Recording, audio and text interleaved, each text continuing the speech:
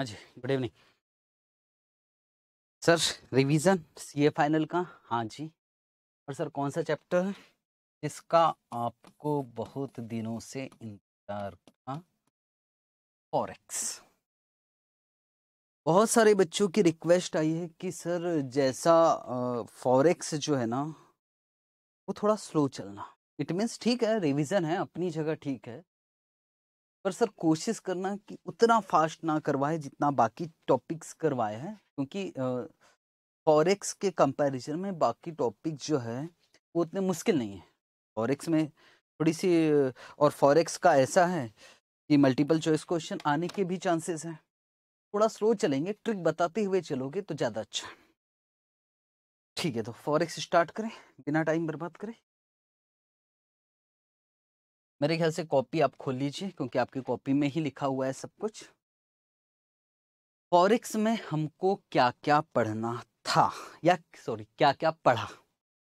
तो sir forex में basics जो है, ये सबसे ज़्यादा इम्पोर्टेंट मैं इसलिए कहूँगा कि इन बेसिक्स की वजह से ही ये सारे क्वेश्चन हो बेसिक्स इम्पोर्टेंट इसके अलावा और भी बहुत ज़्यादा सर, पिछले अटेम्प्ट में क्वेश्चन आया था। हाँ जी।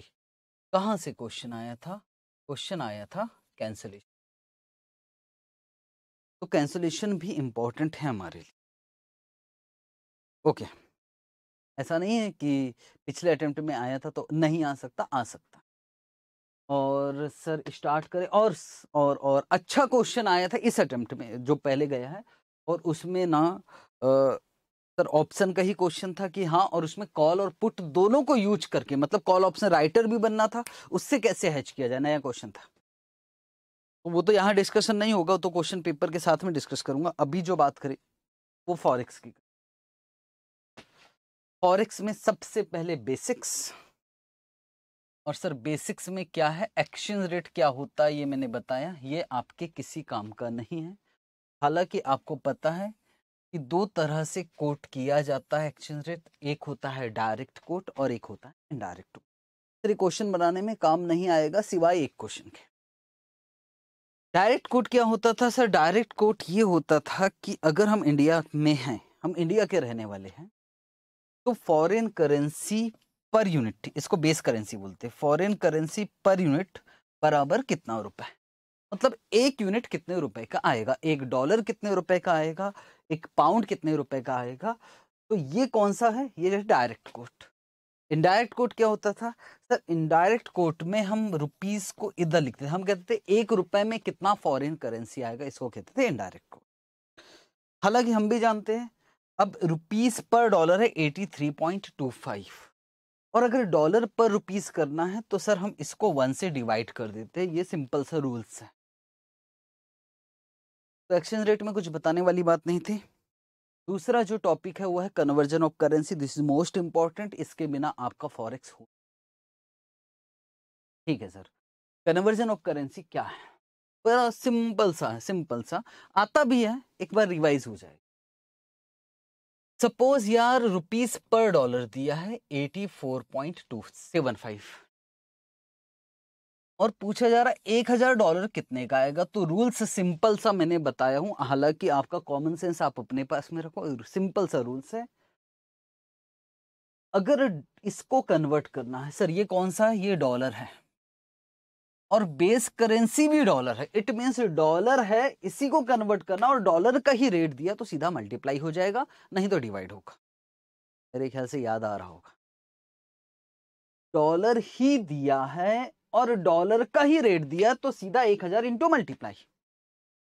पर अगर यहाँ डॉलर देता और यहाँ रुपीज़ देता तो फिर क्या हो जाएगा? Divide that's it this is most important most important चाहो तो बच्चों वाला काम कर लो नहीं सर पहले हम वन से डिवाइड करके कर रेट में को कन्वर्ट कर देंगे। इट मीन्स कुछ बच्चे बोलते सर डॉलर है तो पहले हम ऐसा कर लेंगे कि हम डॉलर रुपीस का रेट बना लेंगे ऐसा कुछ करेंगे तो भैया वैसा नहीं करवाना सिंपल तरीके से मैं करवा।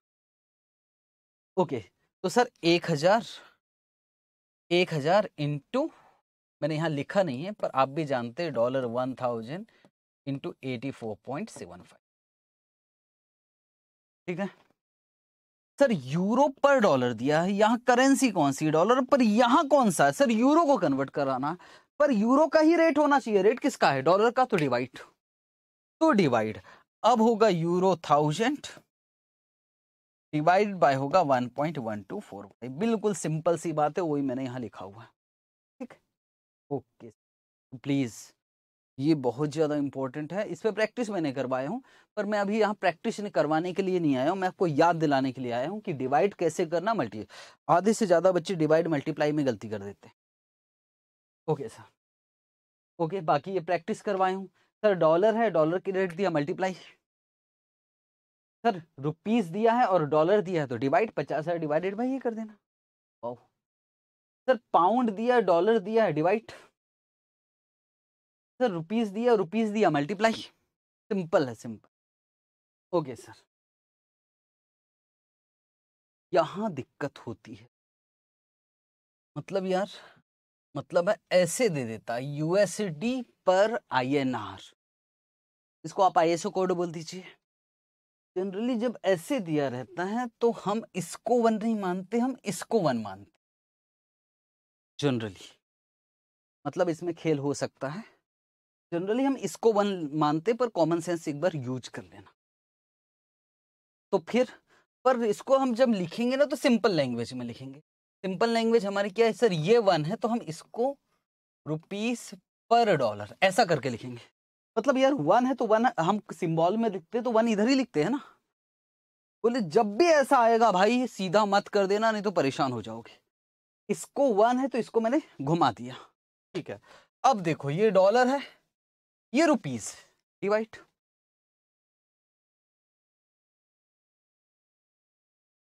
मैंने कहा common sense use sir I N R G B P ninety four point seven five और सर, आपने बोला कि इसको वन मानना।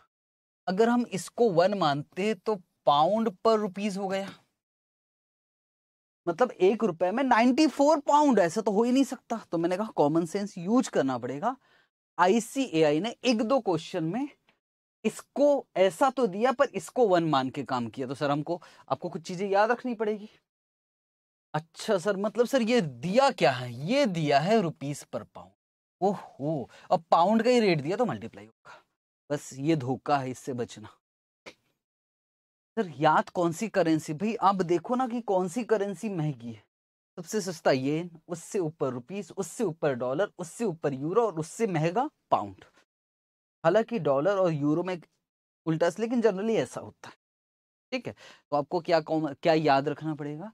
एक बात याद रखनी पड़ेगी कि आप जब पाउंड पर रुपीज़ लिख रहे हो मतलब एक रुपए में नाइन्टी फोर पाउंड तो आपको पता होना चाहिए कि एक रुपए में नाइन्टी फोर पाउंड आ ही नहीं सकता। फिर आपको सोच समझ के क्या करना पड़ेगा? और रुपीस पर पाउंड लेना। फिर आपको दिमाग चलाना पड़ेगा और आप कहेंगे यार, एक पाउंड में ज़्यादा रुपया आएगा। और सर, कितनी करेंसी ऐसा याद रखेंगे बस इतनी? और किस सिक्वेंस में याद रखना है? कि सबसे सस्ता होता है येन उससे महँगा रुपीज़ उससे महँगा डॉलर, उससे महँगा यूरो, उससे महँगा पाउंड। ठीक है? Okay sir. तो मैंने यहाँ जब आपको पढ़ा रहा था तो बता रखा, बताया था कि कैसे कैसे लिख कर दे सकता है, एक्सचेंज रेट को किस तरह से आईसीएआई लिख कर लिखता है।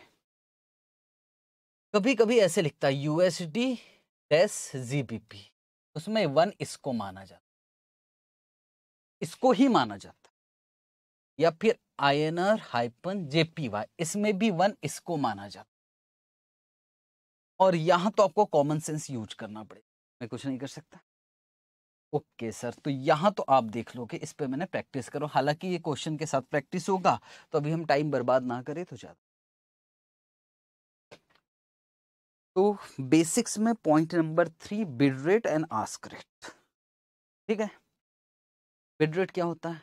सर, बिड रेट मतलब बैंक, सपोज़ रुपीस पर डॉलर दिया है तो बैंक आपसे डॉलर खरीदेगी तो 82.50 और बैंक आपको डॉलर बेचेगी तो महँगे में बेचेगी 82.70 तो बैंक जिस रेट पर कस्टमर से करेंसी खरीदती है, उसको बोलते हैं बिड रेट और इसको बोलते हैं आस्क रेट। सर, ये हमको आता है, मैं जानता हूँ यही मैंने यहाँ लिखा है। और इन दोनों के बीच का जो डिफरेंस आता है उसको बोला जाता है bid ask spread bid ask spread पूछ सकता है मल्टीपल चॉइस क्वेश्चन में इसलिए मैं ऐसे धीरे धीरे करूँ। ठीक है? ओके सर आगे चले। कभी कभी ऐसा लिखा रहता तो आपको समझना है। सर 82.50 है बिड रेट इसको कैसे पढ़ोगे? 82.90 आस्क रेट अच्छा सर इसको 90 नहीं पढ़ना, नहीं 90 अब छोड़ो, और भी बहुत सारी बातें। 82.80 ये कौन सा रेट हो गया? बिट जब मैं आस्क लिखने गया तो मैं लिखूँगा 82.20 तो गड़बड़ हो जाएगा। यार 82.80 बिड रेट आस्क तो हमेशा ज़्यादा होता है। फिर आस्क कम कैसे आ गया? तो उस कंडीशन में मुझे यहाँ बढ़ाकर लिखना पड़ता है, ये मैंने डिस्कस किया था। हालाँकि ऐसा कोई क्वेश्चन नहीं है तो आप इसको कट कर दे क्या? हाँ सर कट भी कर देंगे तो इसके लिए चिंता न करने की ज़रूरत नहीं। बाकी सब आपको आता है। ठीक है? बस मैं समझाने की क्या कोशिश कर रहा हूँ कभी कभी ऐसे दिया रहता तो आपको समझना पड़ेगा कि 82.50 82.90 ओके। अब सवाल है बिड रेट और आस्क रेट को कैसे पहचाना जाए? ये बहुत ज़्यादा इम्पोर्टेंट है और सच्चाई ये है, क्योंकि आपने फॉरेक्स किया है, आपको अच्छे से मालूम है कि हमको बिड रेट और आस्क रेट में पहचानने में बड़ी मुश्किल होती तो मुश्किल जो होती है, बिल्कुल सिंपल सी बात, मैं इसको इस डायग्राम से समझाने की कोशिश करूँ, इस पर बहुत मेहनत किया हम लोगों ने। और फाइनली समझ में आ गया था आपको, बस याद दिला देता हूँ कि हमको कर राम। ठीक है अब ठीक से समझ रहा मैं क्या कह रहा हूँ। राम ने इंपोर्ट किया है तो राम को पेमेंट करना है एक लाख डॉलर ठीक है सर।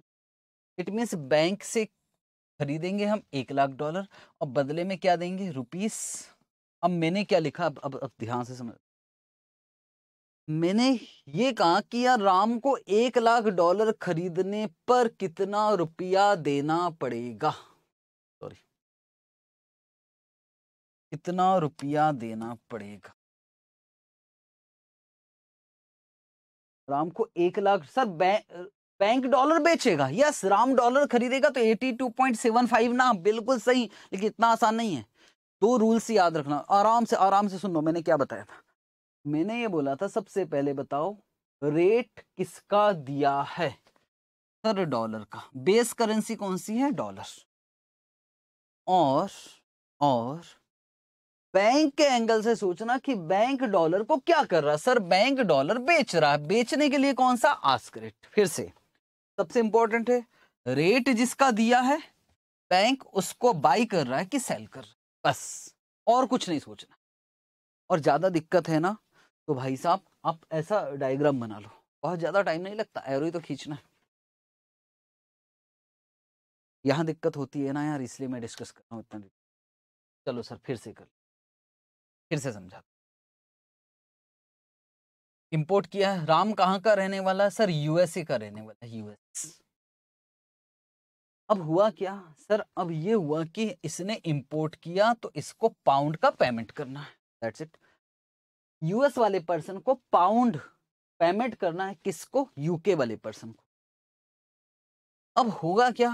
सर, ये वाला पर्सन जो है, ये पाउंड खरीदेगा तो बदले में कुछ ना कुछ तो देगा। सर, बदले में क्योंकि ये यूएस का रहने वाला इसलिए बदले में ये क्या देगा? डॉलर यहाँ तक हो गया, ये एरो बना दिया। अब सुनना ध्यान से।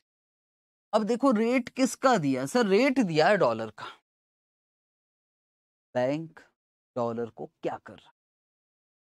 बैंक डॉलर को खरीद रहा है। खरीद रहा है तो ये वाला रेट और रेट दिया पाउंड और ये है डॉलर तो डिवाइड ही होगा, आप बेचा सबसे इंपॉर्टेंट सर, हम ऐसा नहीं बोल सकते कि बैंक पाउंड बेच रहा है। नहीं बोल सकते। बोलना ही नहीं है कि बैंक पाउंड बेच रहा है। जिसका रेट दिया उसके विषय में बोलना है। सर, बैंक डॉलर खरीद रहा है। डॉलर खरीदना है तो बिड रेट सर, आप लॉजिक के साथ समझाओ। अभी मैं लॉजिक नहीं समझाने वाला हूँ। बहुत सारा समय हमारा इस पे गया है। क्लास में हमने बहुत टाइम लिया है। अभी मैं लॉजिक नहीं समझ। रेट डॉलर का दिया है तो बैंक डॉलर खरीद रहा है। तो पाउंड है, ये डॉलर है। डिवाइड होगा डिवाइड होकर ये आ गया। ठीक है? Okay sir. चले, एक दो क्वेश्चन पे और प्रैक्टिस करें। तो रुपीस पर डॉलर दिया, seventy five point five zero, seventy five point seven five. ठीक है, ये प्रैक्टिस करवा रहा हूँ, आखिरी क्वेश्चन होगा प्रैक्टिस के लिए।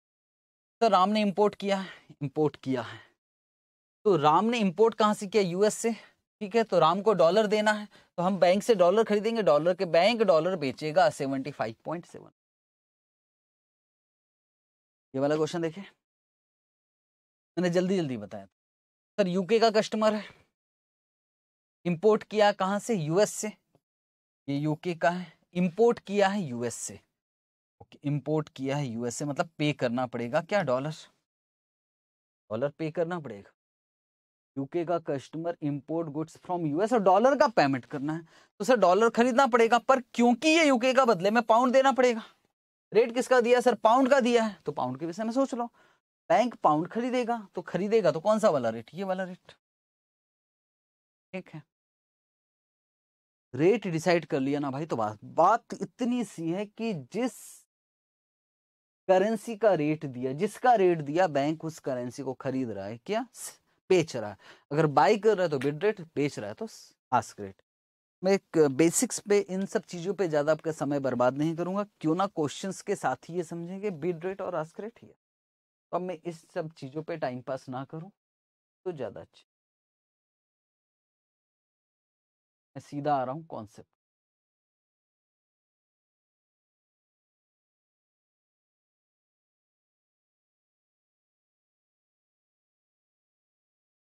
बिड रेट और आस्क रेट पे खूब प्रैक्टिस किया है हम लोगों ने और करेंगे क्वेश्चन के साथ में। चलिए जी आगे। Yes sir. इतना पॉइंट करवाया। दो पॉइंट सबसे ज़्यादा इंपॉर्टेंट थे। पहला कन्वर्जन वाला और दूसरा बिड रेट और आस्क रेट ठीक है? आगे चल रहा हूँ। Appreciation and appreciation in currency ICAI इसको गलत करवाता है और मुझे भी गलत ही करवा ठीक है? हालाँकि लॉजिक कुछ और है, पर मैं कॉन्सेप्चुअल पे नहीं जा रहा हूँ भाई। प्लीज़ सर ये होता क्या है? सपोज़ आज का रेट दिया रुपीस पर डॉलर अस्सी रुपए। सर, अगर हमको लग रहा कि डॉलर महँगा हो जाएगा एप्रिशिएट हो जाएगा दस परसेंट से मतलब सर जो डॉलर अस्सी रुपए चल रहा है ना अभी एटी रुपीज़ वो एटी रुपीज़ से महँगा हो जाएगा तो हो जाने दो। महँगा होगा दस परसेंट से दस परसेंट, ऐड कर देंगे एटी एट या वन पॉइंट वन ज़ीरो से मल्टीप्लाई कर। सर, अगर हमको ऐसा लग रहा है कि डॉलर सस्ता हो जाएगा, जो अस्सी का मिल रहा था, वो अस्सी का नहीं मिलेगा, कम का मिलेगा तो अस्सी इंटू पॉइंट नाइन कर देंगे। आंसर, दस परसेंट डेप्रिशिएट मतलब नाइन्टी परसेंट तो यहाँ कितना जाएगा? सेवेंटी टू बिल्कुल सिंपल कॉन्सेप्ट है। ओके सर लेकिन दिक्कत क्या होती है? अब दिक्कत क्या होती है? सुनना ध्यान। रुपीस पर डॉलर दिया अस्सी रुपए। डॉलर के विषय में बोलता तो कोई दिक्कत की बात नहीं थी। डॉलर के विषय में बोलता तो डॉलर अप्रिशिएट हो रहा तो बढ़ा देते। डॉलर डेप्रिशिएट होता तो कम कर देते। प्रॉब्लम है कि डॉलर का रेट दिया है, पर बोला है रुपीस के विषय में। अब क्या करेंगे? तो सर डॉलर का सोचेंगे दैट्स इट डॉलर का सोचो। इट मीन्स रुपया अप्रिशिएट हो रहा है दस परसेंट तो रुपया अप्रिशिएट हो रहा मतलब डॉलर डेप्रिशिएट हो रहा तो इंटू पॉइंट नाइन कर देंगे। और सर रुपया अप्रिशिएट हो रहा, रुपया रुपया बढ़ रहा है सर रेट किसका दिया? डॉलर का। मतलब सर रुपया अप्रिशिएट हो रहा मतलब डॉलर अप्रिशिएट हो रहा, बढ़ रहा है, बढ़ रहा है तो 88 बस और कुछ नहीं। मतलब सर सुनो सुनो। हमें किसके विषय में सोच रहा है? जिसका रेट दिया। यहाँ डॉलर का रेट दिया था तो हमने फटाफट से दस परसेंट से बढ़ाया था, दस परसेंट से। यहाँ डॉलर का रेट यहाँ नहीं, यहाँ रुपीस पर डॉलर यहाँ भी डॉलर का रेट दिया लेकिन एप्रिसिएशन डेप्रिसिएशन किसमें है? रुपीज़ में रुपीज़ में है। पर रेट किसका दिया? डॉलर तो आपको डॉलर के विषय में ही सोचना पड़ेगा। ओके किस तो मतलब रुपया एप्रिशिएट हो रहा है मत डॉलर डॉलर मतलब डॉलर डेप्रिशिएट हो रहा है। और लॉजिकली क्या होता है? ये मैंने समझाया था, पर अभी इस पे ना फोकस नहीं करोगे तो ज़्यादा अच्छा है। मत करो। खूब लॉजिक के साथ समझाने का कोई सेंस नहीं होता एग्ज़ाम निकालना है। ओके, ये मैंने समझाया था, ये काम नहीं आएगा आपके। बताना जल्दी से। सर रुपीस पर डॉलर दिया सत्तर। और डॉलर के विषय में ही बोला है, दस परसेंट तो सर सत्तर into one point one zero dollar का रेट दिया, डॉलर के विषय में बोला तो लॉटरी लग गई। सर, डॉलर का ही रेट दिया है, पर अब रुपया के विषय में सोच बोला। अब अब बोला क्या? तो रुपया डेप्रिशिएट होगा मतलब डॉलर एप्रिशिएट होगा तो sir into one point one zero कर देंगे वापस। ठीक है, सर। सर, डॉलर और डॉलर के विषय में बोला तो इंटू पॉइंट नाइन फिर तो सीधा सीधा सर डॉलर का रेट दिया पर रुपया अप्रिशिएट मतलब dollar depreciate into point nine कर। ठीक है जी? आगे चलो। क्रॉस रेट्स क्रॉस रेट्स तो पता नहीं मुझे ऐसा लग रहा है कि एमसीक्यूज आएगी आए चॉइस क्वेश्चन आएगी। और क्योंकि क्रॉस रेट के एमसीक्यूज नहीं दिया है आ, बुक में बुक में जो क्वेश्चन है वो तो बड़े बड़े हैं। तो यार क्रॉस रेट पे एक बार हमारा कुछ ट्रिक हो जाए, मैंने ट्रिक सिखा रखा हूँ, मैं ट्रिक ही सिखाऊँगा। तो पूरी तरह से लॉजिक, लॉजिकली बात नहीं करूँगा, ठीक है? ओके।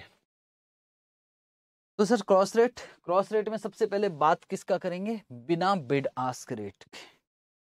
ओके देखिए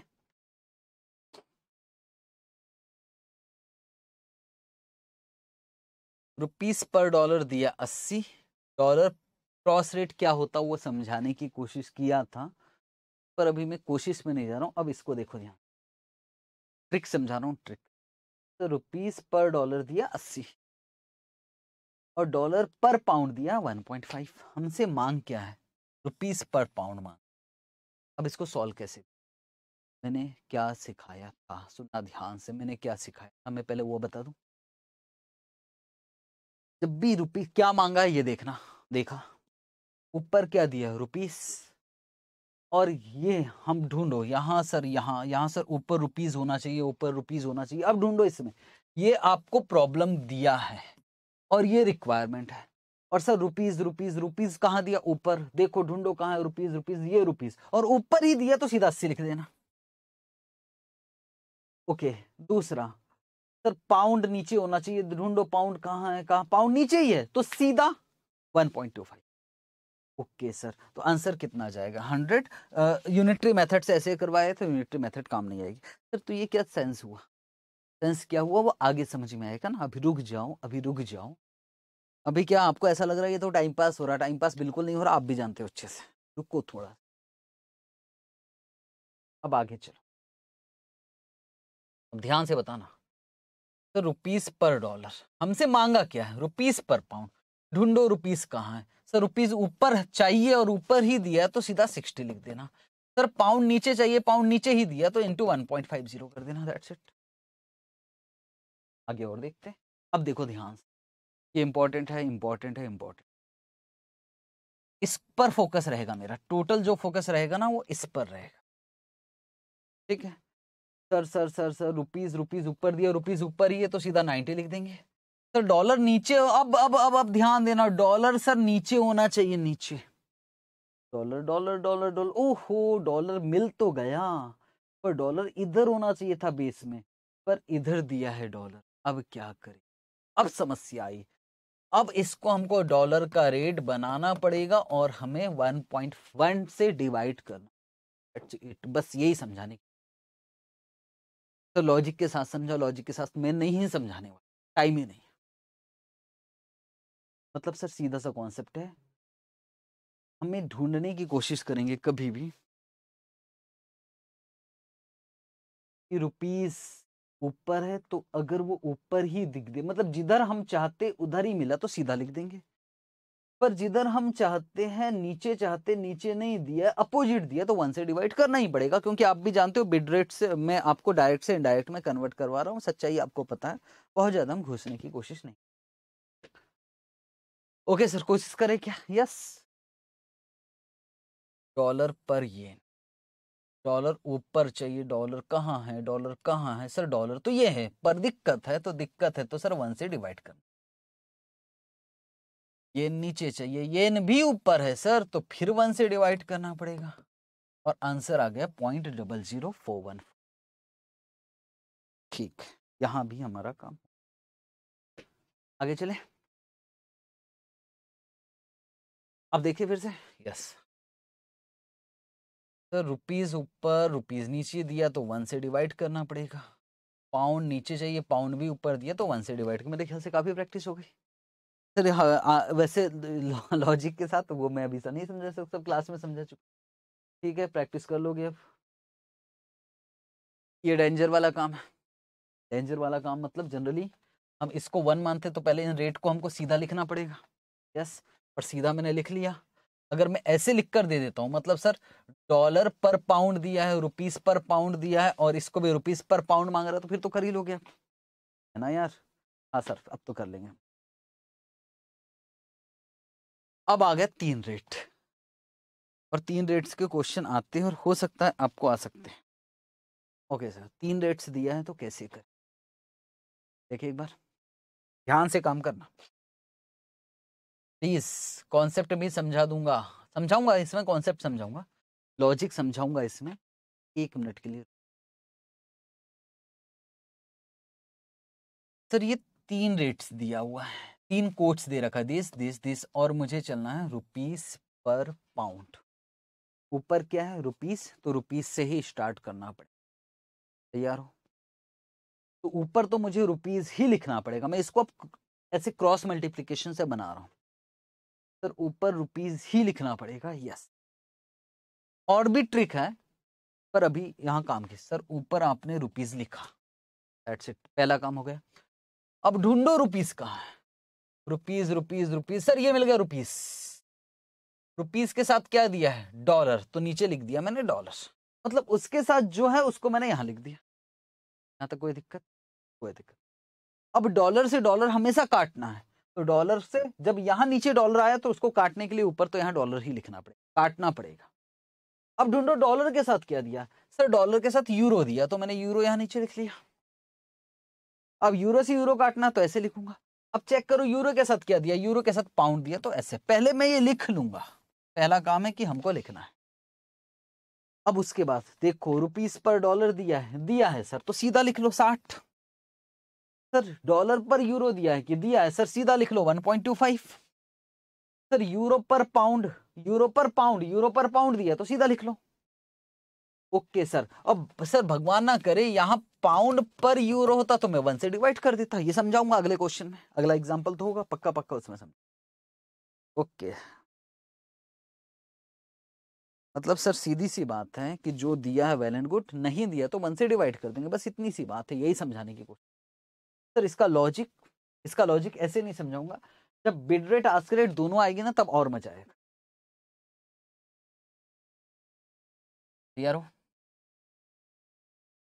हमें चाहिए क्या? यूरो। तो सर ऊपर तो यूरो लिखना पड़ेगा अब ढूंढो यूरो के साथ कहाँ सर यूरो नीचे दिए, उससे मतलब नहीं। यूरो के साथ कौन सी करेंसी सर रुपीज़ लिखिए। तो रुपीज़ यहाँ जाए रुपीज़ ऊपर लिखा है कि नीचे लिखा डजेंट मैटर पर यूरो के साथ क्या लिखा है? यूरो के साथ रुपीज़ है तो मैंने रुपीज़ उठाकर लिख दिया। यूरो ऊपर लिखना पड़ेगा, ये मुझे यहाँ से पता लग गया था। अब ये भी बस सच्चाई है कि रुपीज़ से रुपीज़ काटना पड़ेगा। अब देखो, अब रुपीज़ कहाँ है? सर दूसरा, ये वाला तो आप लिख चुके हैं। अब रुपीज़ ये सर रुपीज़ के साथ डॉलर है। डॉलर से डॉलर काटना पड़ेगा। तो दोनों डॉलर के साथ क्या है सर डॉलर के साथ पाउंड है। स्टार्ट करें। Okay sir. सर यूरो पर रुपीस ढूंढो कहाँ है? सर यूरो पर रुपीस नहीं दिया है ये दिया है रुपीस पर यूरो तो क्या वन से डिवाइड करना पड़ेगा ये? तो रुपीस पर डॉलर रुपीस पर डॉलर दिया तो क्या वन से डिवाइड करना पड़ेगा? नहीं नहीं नहीं। सर पाउंड पर डॉलर दिया हमें चाहिए डॉलर पर पाउंड तो क्या वन से डिवाइड करना पड़ेगा? Yes point seven seven. Sir मुश्किल है। हाँ। सर कुछ सेंस लगा कर बताओ ना, कॉन्सेप्ट के साथ क्लास में करवा चुका हूँ, पर मैं करवाऊँगा, मैं फिर से बोल रहा हूँ तो मैं कॉन्सेप्ट के साथ भी समझा सकता हूँ, पर थोड़ा सा रुक कर थोड़ा सा रुक।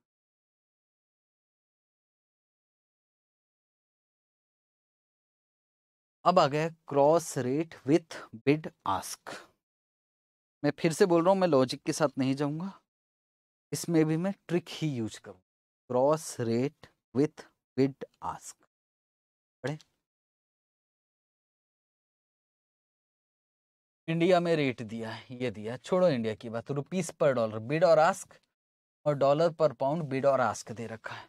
और मुझसे बोल रहा है, रुपीस पर पाउंड बिड और आस्क पहले बिट की बात करें? यस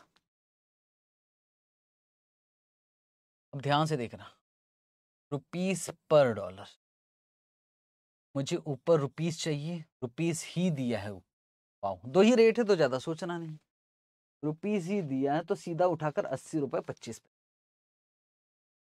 सर नीचे पाउंड है और पाउंड ही दिया है तो सीधा उठाकर 1.25 लिखूँगा, आंसर ये आ गया और आस्क को आस्क के साथ मल्टीप्लाई। तक कोई दिक्कत होनी नहीं चाहिए। तो सर ये तो आसान है बिड रेट मांगेगा तो बिट को बिट के साथ, आस्क को नहीं ना बिटे, अभी आगे समझो, आगे खेल है बहुत बड़ा। अब मैं लॉजिक भी समझाने की कोशिश किया हूँ यहाँ। यहाँ ये दिख रहा है। सब हिंदी में जो लिखवा रखा है ना, ये सब लॉजिक समझाया था आपको कि क्या कहना चाहता है क्वेश्चन सर प्लीज़ समझा दो ना। तो समझा देता समझा देता हूँ, रुक जाओ। टाइम भी देखना पड़ता ना यार। ओके सर, हम लोग तैयार हैं। एक बार क्रॉस रेट करें क्या?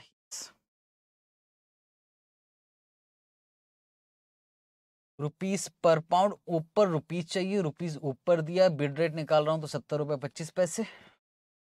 नीचे पाउंड है और पाउंड ही नीचे दिया है तो सीधा वन पॉइंट, ठीक है सर तो ये आ गया एक तो और आस्क को तो सर अभी तक इस क्वेश्चन में भी तो आपने बिट को बिट के साथ और आस्क को आज के साथ मल्टीप्लाई किया, यस। उसका लॉजिक मैंने यहाँ दे रखा है कि हम क्या क्या कर रहे हैं कर तो सर ये समझाओगे कि, ये नहीं समझाऊँगा ना, मैं तीन करेंसी वाला सीधा समझाऊँ तो ज़्यादा मज़ा आएगा। ठीक है? ये नहीं समझाने ओके सर, फिर से करते हैं, फिर से स्टार्ट करते हैं। अब सोच समझ के करेंगे, सोच समझ के। फोकस करना बेटे, अब थोड़ा सा दिक्कत होने वाला है, प्लीज़ तैयार हो जाओ, दिक्कत होने वाला है।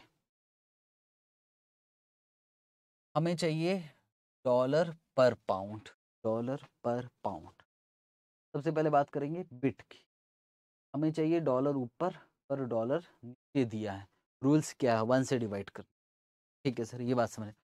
और जब भी वन से डिवाइड करने की नौबत आएगी तो आप ये मत ले लेना, ये लेना। ओहो ओहो सर बोलो। इट मीन्स वन से जब डिवाइड करते हैं ना तो आपको भी मालूम है आस्क बिड बन जाता है बिड आस्क बन जाता है। हाँ बोलो हाँ मैंने करवाया था इसको। हाँ। तो अब मैं फिर से बोलूँ, फिर से बोलो सर फिर से बोलो।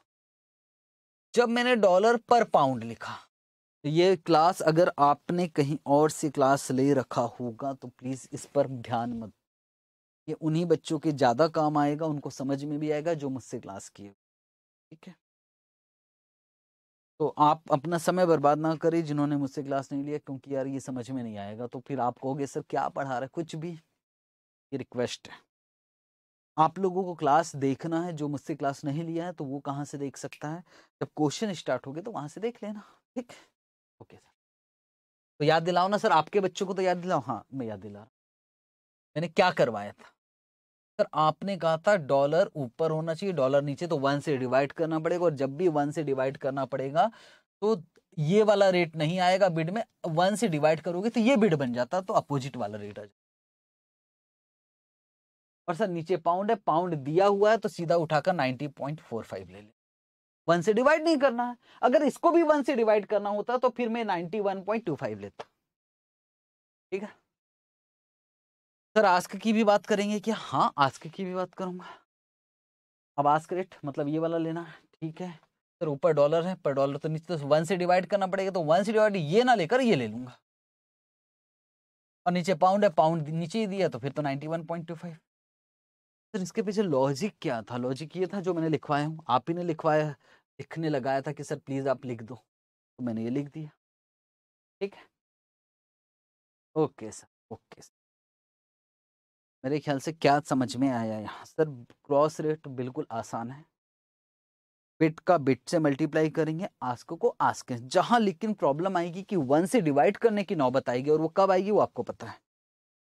अगर वन से डिवाइड करने की नौबत आएगी तो जो रेट लेने का सोचे थे, वो ना लेके अपोजिट वाले रेट को वन से डिवाइड कर। दिस इज़ ट्रिक लॉजिक नहीं है. कॉन्सेप्ट ही है. Okay okay.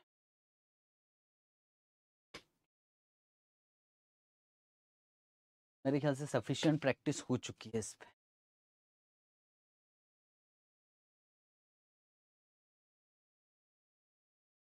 मैं अभी ये नहीं करवा रहा प्रैक्टिस हो आगे जा मैं इसका इंतज़ार कर रहा था तीन रेट्स ये बहुत डेंजर है इसको अच्छे से समझना पड़ेगा।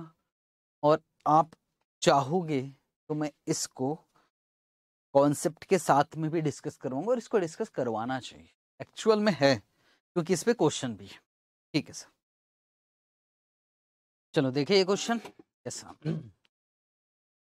और इसको मुझको लॉजिक के साथ भी समझा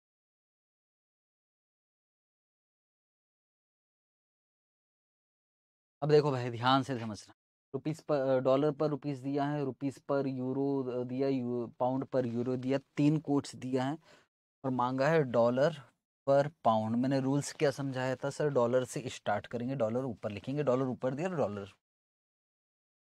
अब फिर मैंने कहा था ढूंढो ढूंढो ढूंढो डॉलर कहाँ दिया है यहाँ दिया है तो डॉलर के साथ कौन सी करेंसी है? रुपीस तो रुपीस लिख दिया मैंने नीचे।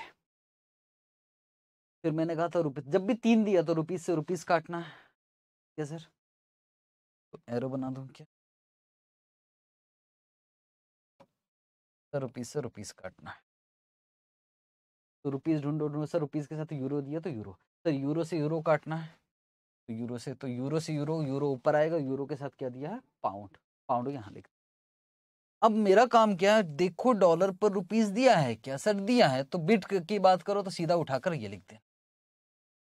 फिर मैंने कहा, देखो, रुपीस पर यूरो दिया है कि सर दिया है? तो मैंने कहा, सीधा उठाकर ये लिख देना।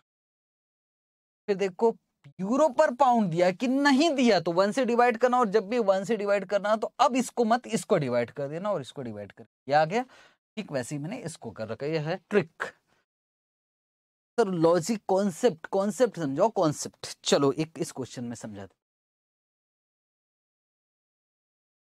मान लो हमें डॉलर देके पाउंड खरीदना है। हमें पाउंड खरीदना है, हमें पाउंड खरीदना है। और हमारे पास कौन सी करेंसी है? हमारे पास डॉलर। हमें पाउंड खरीदना मतलब बैंक पाउंड बेचेगा। मतलब हम आस्क रेट कैसे निकाले? हम 1.94947 कैसे निकाले? इस इस मुद्दे पे बात चल रही तैयार हो? मैं खुद पूछ रहा हूँ ना। बताओ यार, हमें, हमारे पास डॉलर है हम डॉलर देके बैंक से पाउंड खरीदने का सोच रहे तो हमारे पास डॉलर है, यहाँ से चलेंगे।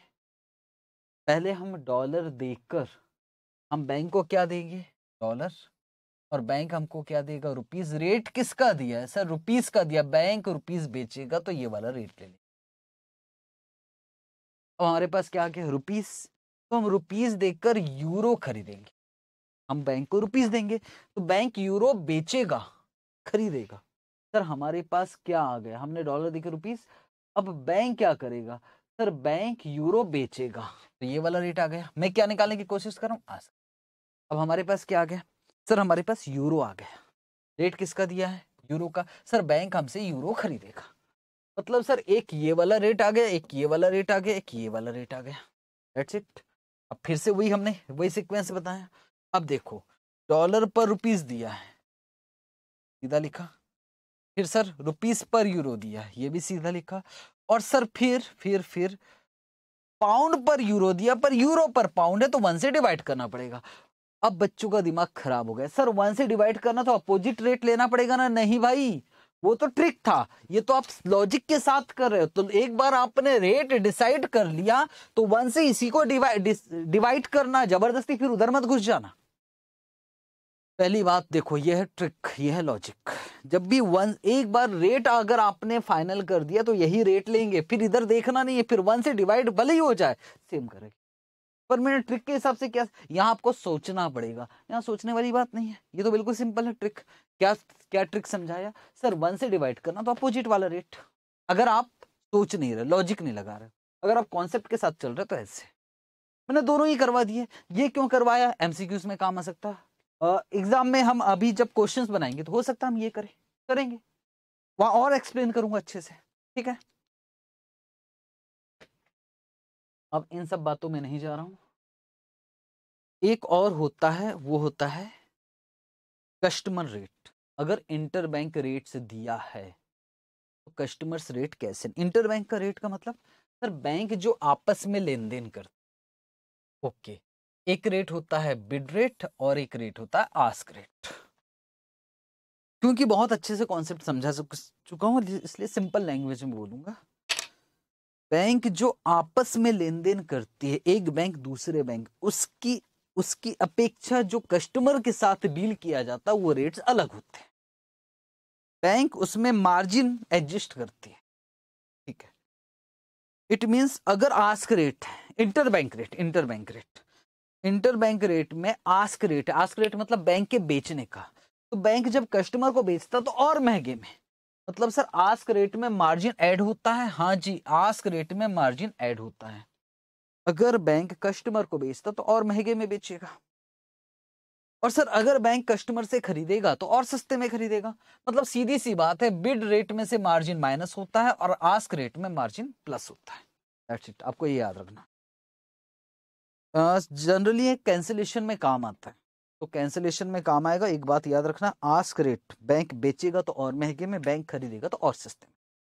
बिड में से मार्जिन माइनस होगा आस्क में प्लस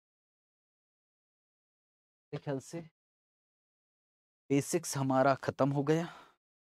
और यही थोड़ा बहुत आपको समझाना था। अब हम क्वेश्चन स्टार्ट कर रहे हैं। तो ऐसे बच्चे जो मुझसे क्लास नहीं किए हैं वो पिछला ना देखे अब स्टार्ट करते क्वेश्चन अब देख सकते हैं आप कोई दिक्कत ठीक है। चलो जी, आगे बढ़े। Yes sir. क्वेश्चन बनाने जा रहे हैं हम लोग। एक सेकेंड तो पहला क्वेश्चन। सर दिया क्या है? सर, दिया हुआ है येन पर dollar.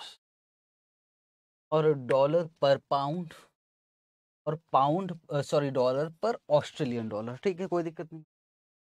Calculate the cross rate पर पाउंड इन येन। मतलब सर ये मांग रहा है येन पर पाउंड। येन पर पाउंड। तो सर अब सीधी सी बात है, येन ऊपर होना चाहिए, ऊपर है। सर ये तीन रेट यूज़ तीन रेट यूज़ करने की ज़रूरत नहीं पड़ेगी, क्योंकि कॉमन करेंसी सब में डॉलर दिख रही है। तो इन दो रेट को यूज़ करके काम हो सकता है। जैसे येन ऊपर दिया येन ऊपर है, पाउंड नीचे दिया, पाउंड नीचे है तो इन दोनों दोनों का कॉमन करेंसी डॉलर है। तो सीधा वन ज़ीरो सेवन, वन से डिवाइड करने की ज़रूरत नहीं, नीचे पाउंड चाहिए पाउंड ही दिया वन पॉइंट टू सिक्स तो आंसर आ जाएगा one thirty five point sir, ये आरटीपी में डला हुआ था नवंबर 2020 में प्लीज़ कर लेना, उसके बाद तो आप कर ही लोगे। तो क्वेश्चन नंबर वन में ऐसा कुछ करवाने वाली बात नहीं है। भाई ऐसे क्वेश्चन जो खुद से देखकर हो जाएगा, उस पर मैं ज़्यादा डिस्कशन नहीं करूँगा, ज़्यादा अच्छा। ठीक है, मैं सिर्फ़ समझाते हुए चलूँगा यार किसी क्वेश्चन में मुझे ऐसा लगा कि भैया ये आपको देखना पड़ेगा लास्ट में, उस क्वेश्चन पे मैं डिस्कशन बाकायदा करूँ जैसे क्वेश्चन नंबर थ्री बहुत अच्छा क्वेश्चन है। क्वेश्चन नंबर थ्री आपको देखना पड़ेगा लास्ट में।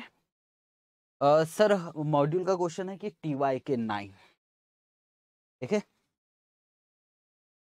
सिंपल क्रॉस रेट का क्वेश्चन है और मैं इस क्वेश्चन को लॉजिक के साथ करवाया हूँ, ट्रिक यूज़ नहीं किया हूँ तो वो लॉजिक में डिस्कस कर इसमें हो क्या रहा है 28 जनवरी 2013 को कोई इम्पोर्टर आया था।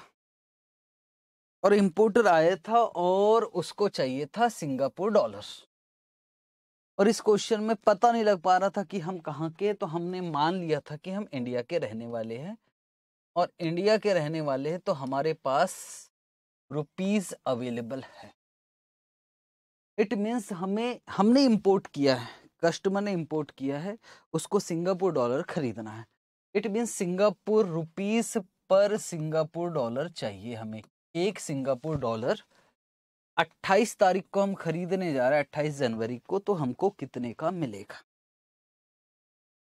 इसमें बहुत सारे बच्चों का ये भी क्वेश्चन था कि, सर, सिंगापुर डॉलर पर रुपीज़ नहीं निकाल सकते कि निकाल सकते हो? उससे भी आंसर सेम ही आएगा। पर कोशिश करो कि इस तरह से निकालो क्योंकि यार सीधा डायरेक्ट कोट निकाला करो। तो क्या कहना है? उनका ये कहना है कि जब हम 28 जनवरी को 28 जनवरी को बैंक के पास गए तो बैंक ने कहा कि हम आज आपको डिलीवरी नहीं दे सकते, सिंगापुर डॉलर का। तो फिर आप चार जन, फैब को गया, फोर्थ फैब को आपको मिलेगा। अब यार डिले हो गया। डिले किस वजह से हो गया? कोई भी अनअवॉइडेबल रीजन हो सकता उसमें एक रीजन ये हो सकता कि बैंक में स्ट्राइक थी। इस वजह से जो 28 जनवरी को सिंगापुर डॉलर मिलने वाला था वो 28 ना को ले, ना लेकर हमें फोर्थ फैब को खरीदना पड़ेगा मजबूरी। तो सवाल बस इतना है कि यार आप डिले हो गए इसकी वजह से आपको लॉस हो रहा है कि गेन हो रहा है। इट मीन्स क्या कहना चाहता है?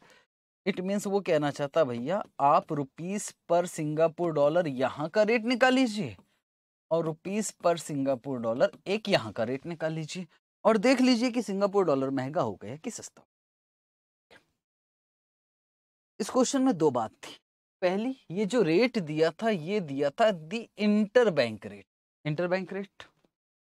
मतलब सर, जो भी रेट निकलेगा, उसमें मार्जिन प्लस करना पड़ेगा? हाँ बैंक बेचेगा तो margin plus? Okay.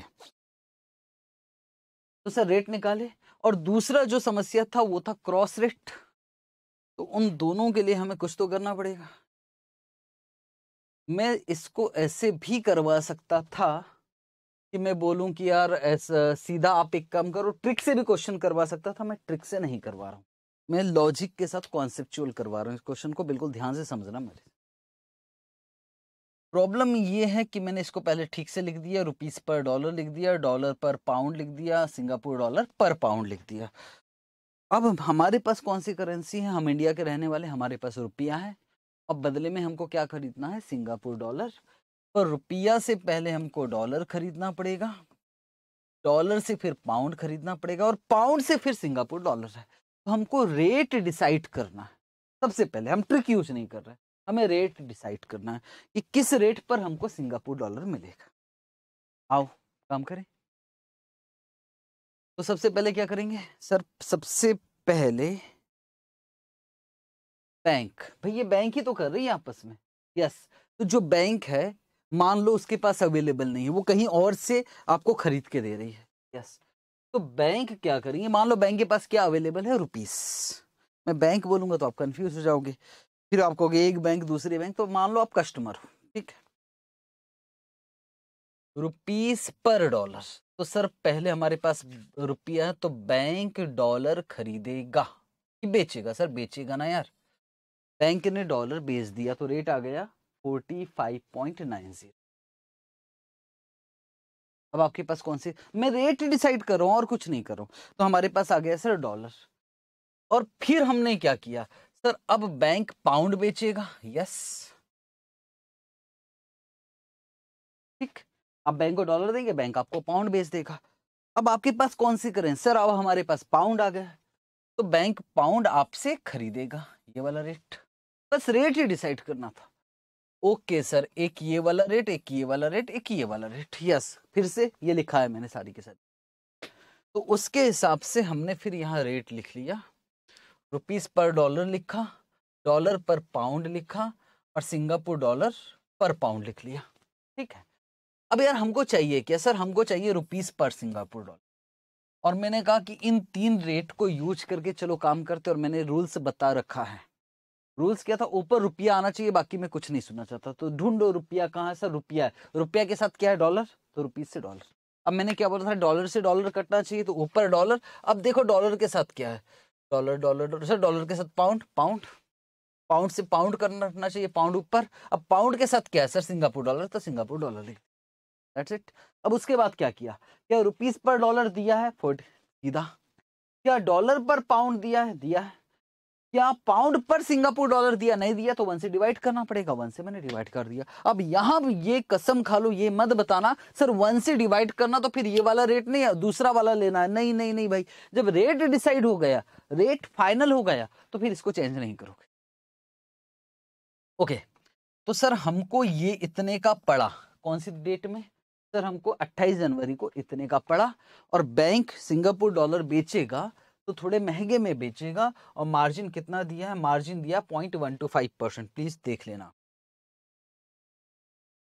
Point one two five percent margin add किया तो अगर हम 28 जनवरी को हमें कितने का पड़ेगा? 25.9806 अब वही रेट आप कब का ले लेना? चार फैब का। और उसमें भी क्या ऐड कर देना मार्जिन? तो ये आ गया।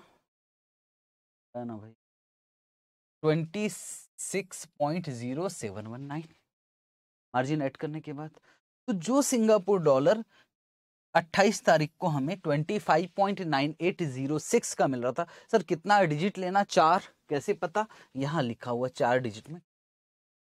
तो जो हमको इतने का पड़ रहा था, वो महँगा हो गया। और कितना सिंगापुर डॉलर है सर? 25 मिलियन नहीं 25 लैक्स मल्टीप्लाई करने से हमको ये लॉस आ गया डिले की वजह से। ठीक है। ओके सर एग्ज़ाम में भी आया है और मॉड्यूल में भी तो इम्पोर्टेंट क्वेश्चन है। आ, सर एक डाउट आया था बच्चे कि सर देखो सबसे पहले हमने यहाँ से खरीदा तो इसमें मार्जिन अलग से एडजस्ट करते फिर इसमें अलग से करते फिर इसमें अलग अब लास्ट में क्यों कर रहे हो? तो बात की समझने की कोशिश करो ये कस्टमर जगह जगह जाकर नहीं खरीद रहा ये बैंक खरीदेगी कहीं और से? मेरी बात समझने की कोशिश करना। एक बैंक है, आप बैंक के पास आए, बोलते सिंगापुर डॉलर चाहिए, बोले मिलेगा। ये बैंक दूसरी जगह से रुपया देकर डॉलर खरीदेगी डॉलर देकर क्या खरीदेगी भाई? पाउंड खरीदेगी पाउंड देके सिंगापुर, अब आ गया Singapore dollar inter bank transaction हुई है। इंटर बैंक ट्रांजेक्शन में कभी भी मार्जिन का एडजस्टमेंट नहीं होगा। अब जब कस्टमर को बेचेगी, तब मार्जिन प्लस होगा। यही मैंने समझाया था, आपका यही डाउट आया। इस क्वेश्चन पे बहुत टाइम लगा दिया, आगे चल। क्वेश्चन नंबर फोर करने की ज़रूरत नहीं है छोड़ सकते हो बाहर से उठाया था ओके सर आगे चले। क्वेश्चन नंबर थ्री वापस बच्चों को आपको डाउट आ गया था तो फिर समझाया था मैंने एक बार। Okay sir. ये वाला एग्ज़ाम्पल है बिल्कुल सिंपल तरीके से समझाऊँगा। मल्टीपल चॉइस क्वेश्चन आने के चांसेस है तो अच्छे से करोगे। मान लो यार यूएस में कोई एक पर्सन, यूएस का ही है, यूएस का ही पर्सन बॉन्ड्स में इन्वेस्ट करता है। कितने रुपए का बॉन्ड खरीदा, रुपया नहीं, कितने डॉलर का? One zero five. कितने साल के लिए इन्वेस्टमेंट है? एक साल। एक साल बाद उसको डॉलर सात ओपन मिला और एक साल बाद बॉन्ड बेचोगे तो 107 का। तो होल्डिंग पीरियड रिटर्न बता सकते हो? आराम से सर 107 प्लस सात माइनस एक सौ पाँच divided eight point five seven percent. अब अगर ये ये किसका रिटर्न है? सर, कोई यूएस का इन्वेस्टर है तो उसको कितना रिटर्न मिल रहा? है एट पॉइंट फाइव से। सर, मान लो कोई इंडिया का इन्वेस्टर होता, ठीक है? उसको ये तो मिलता ही मिलता। और अगर हम बोले कि डॉलर एप्रिशिएट हो रहा है, कितने परसेंट से? पाँच परसेंट से।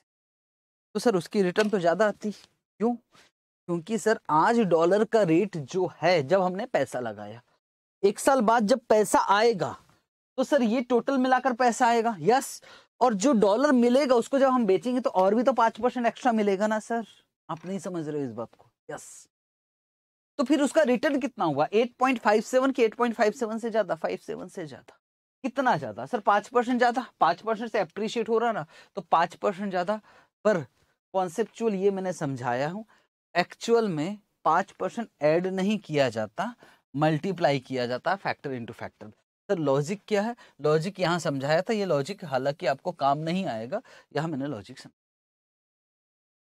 ओके okay, मतलब सर अगर कोई बाहर का इन्वेस्टर है और वो करेंसी अपोजिट करेंसी जो आने वाली वो अप्रिशिएट हो रही है तो उसके आने से क्योंकि वो एक साल बाद आ रही है और महँगी भी हो रही है तो जो एक साल बाद आएगा वो तो ज़्यादा आएगा और ज़्यादा आएगा जब बेचोगे तो और ज़्यादा में बिकेगा तो सर उस हिसाब से हमारा जितना रिटर्न सामने वाला कमा रहा उससे ज़्यादा रिटर्न हम कमाएँगे। सीधी सी बात है फैक्टर इंटू फैक्टर होगा। ओके क्वेश्चन नंबर फाइव ये हमारी बुक में, हमारी बुक मतलब ए एफ़ एम का मॉड्यूल है टी वाई के वन है। एक बार देखिए क्या? ये क्या लिखा हुआ है? पढ़ते एक बॉन्ड है। कितने डॉलर का है? पाँच हज़ार। रिडेम्शन पे पाँच हज़ार, दो सौ पचास और तीन सौ पचास सी मिलेगा। तो सर होल्डिंग पीरियड रिटर्न निकल गया। बारह परसेंट पर ये किसके लिए? यूएस इन्वेस्टर के लिए।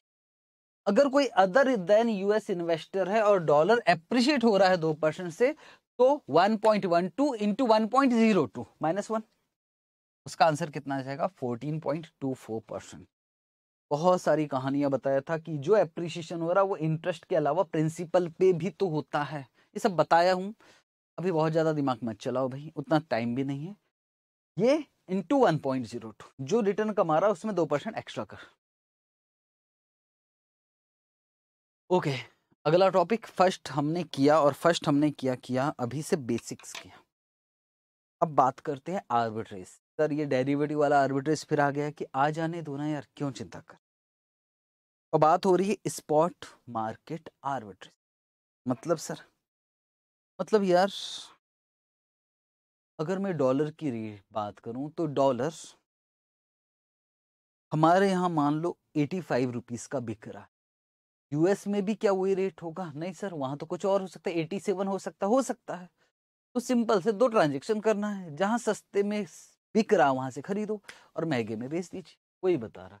सपोज़ इंडिया में और यूएस में, डॉलर का रेट इंडिया में अस्सी रुपए पचास पैसे, यहाँ अस्सी रुपए नब्बे पैसे। बताओ कहाँ से खरीदोगे, कहाँ बेचोगे? सर, इंडिया से खरीदेंगे, यूएस में बेचेंगे और चालीस पैसा, एक डॉलर पे चालीस पैसे का फ़ायदा। This is spot market arbitrage कुछ नहीं करना। आर्बिट्रेज ना सर। हाँ सर। विडास्क दिया है तो इसके थ्रू कर लेंगे। बहुत ज़्यादा मुश्किल नहीं ये सब मैं करवा चुका हूँ। जहाँ सस्ते में बिक रहा सर, ये आता है कि ये नहीं आता ना, इसलिए तो मैं जल्दी जल्दी निकल रहा हूँ। इस पर हम मेहनत कर चुके क्वेश्चन नंबर थर्टी वन एक बार देख लेना। अच्छा क्वेश्चन है। क्वेश्चन नंबर नहीं एग्ज़ाम्पल नंबर है। इंपॉर्टेंट भी लिखवाया आ सकता है इसे। बोले यूएस में रेट दिया है। रुपीस पर डॉलर साठ रुपया। और डॉलर पर पाउंड 1.50 कहाँ का रेट है? यूएस का rate.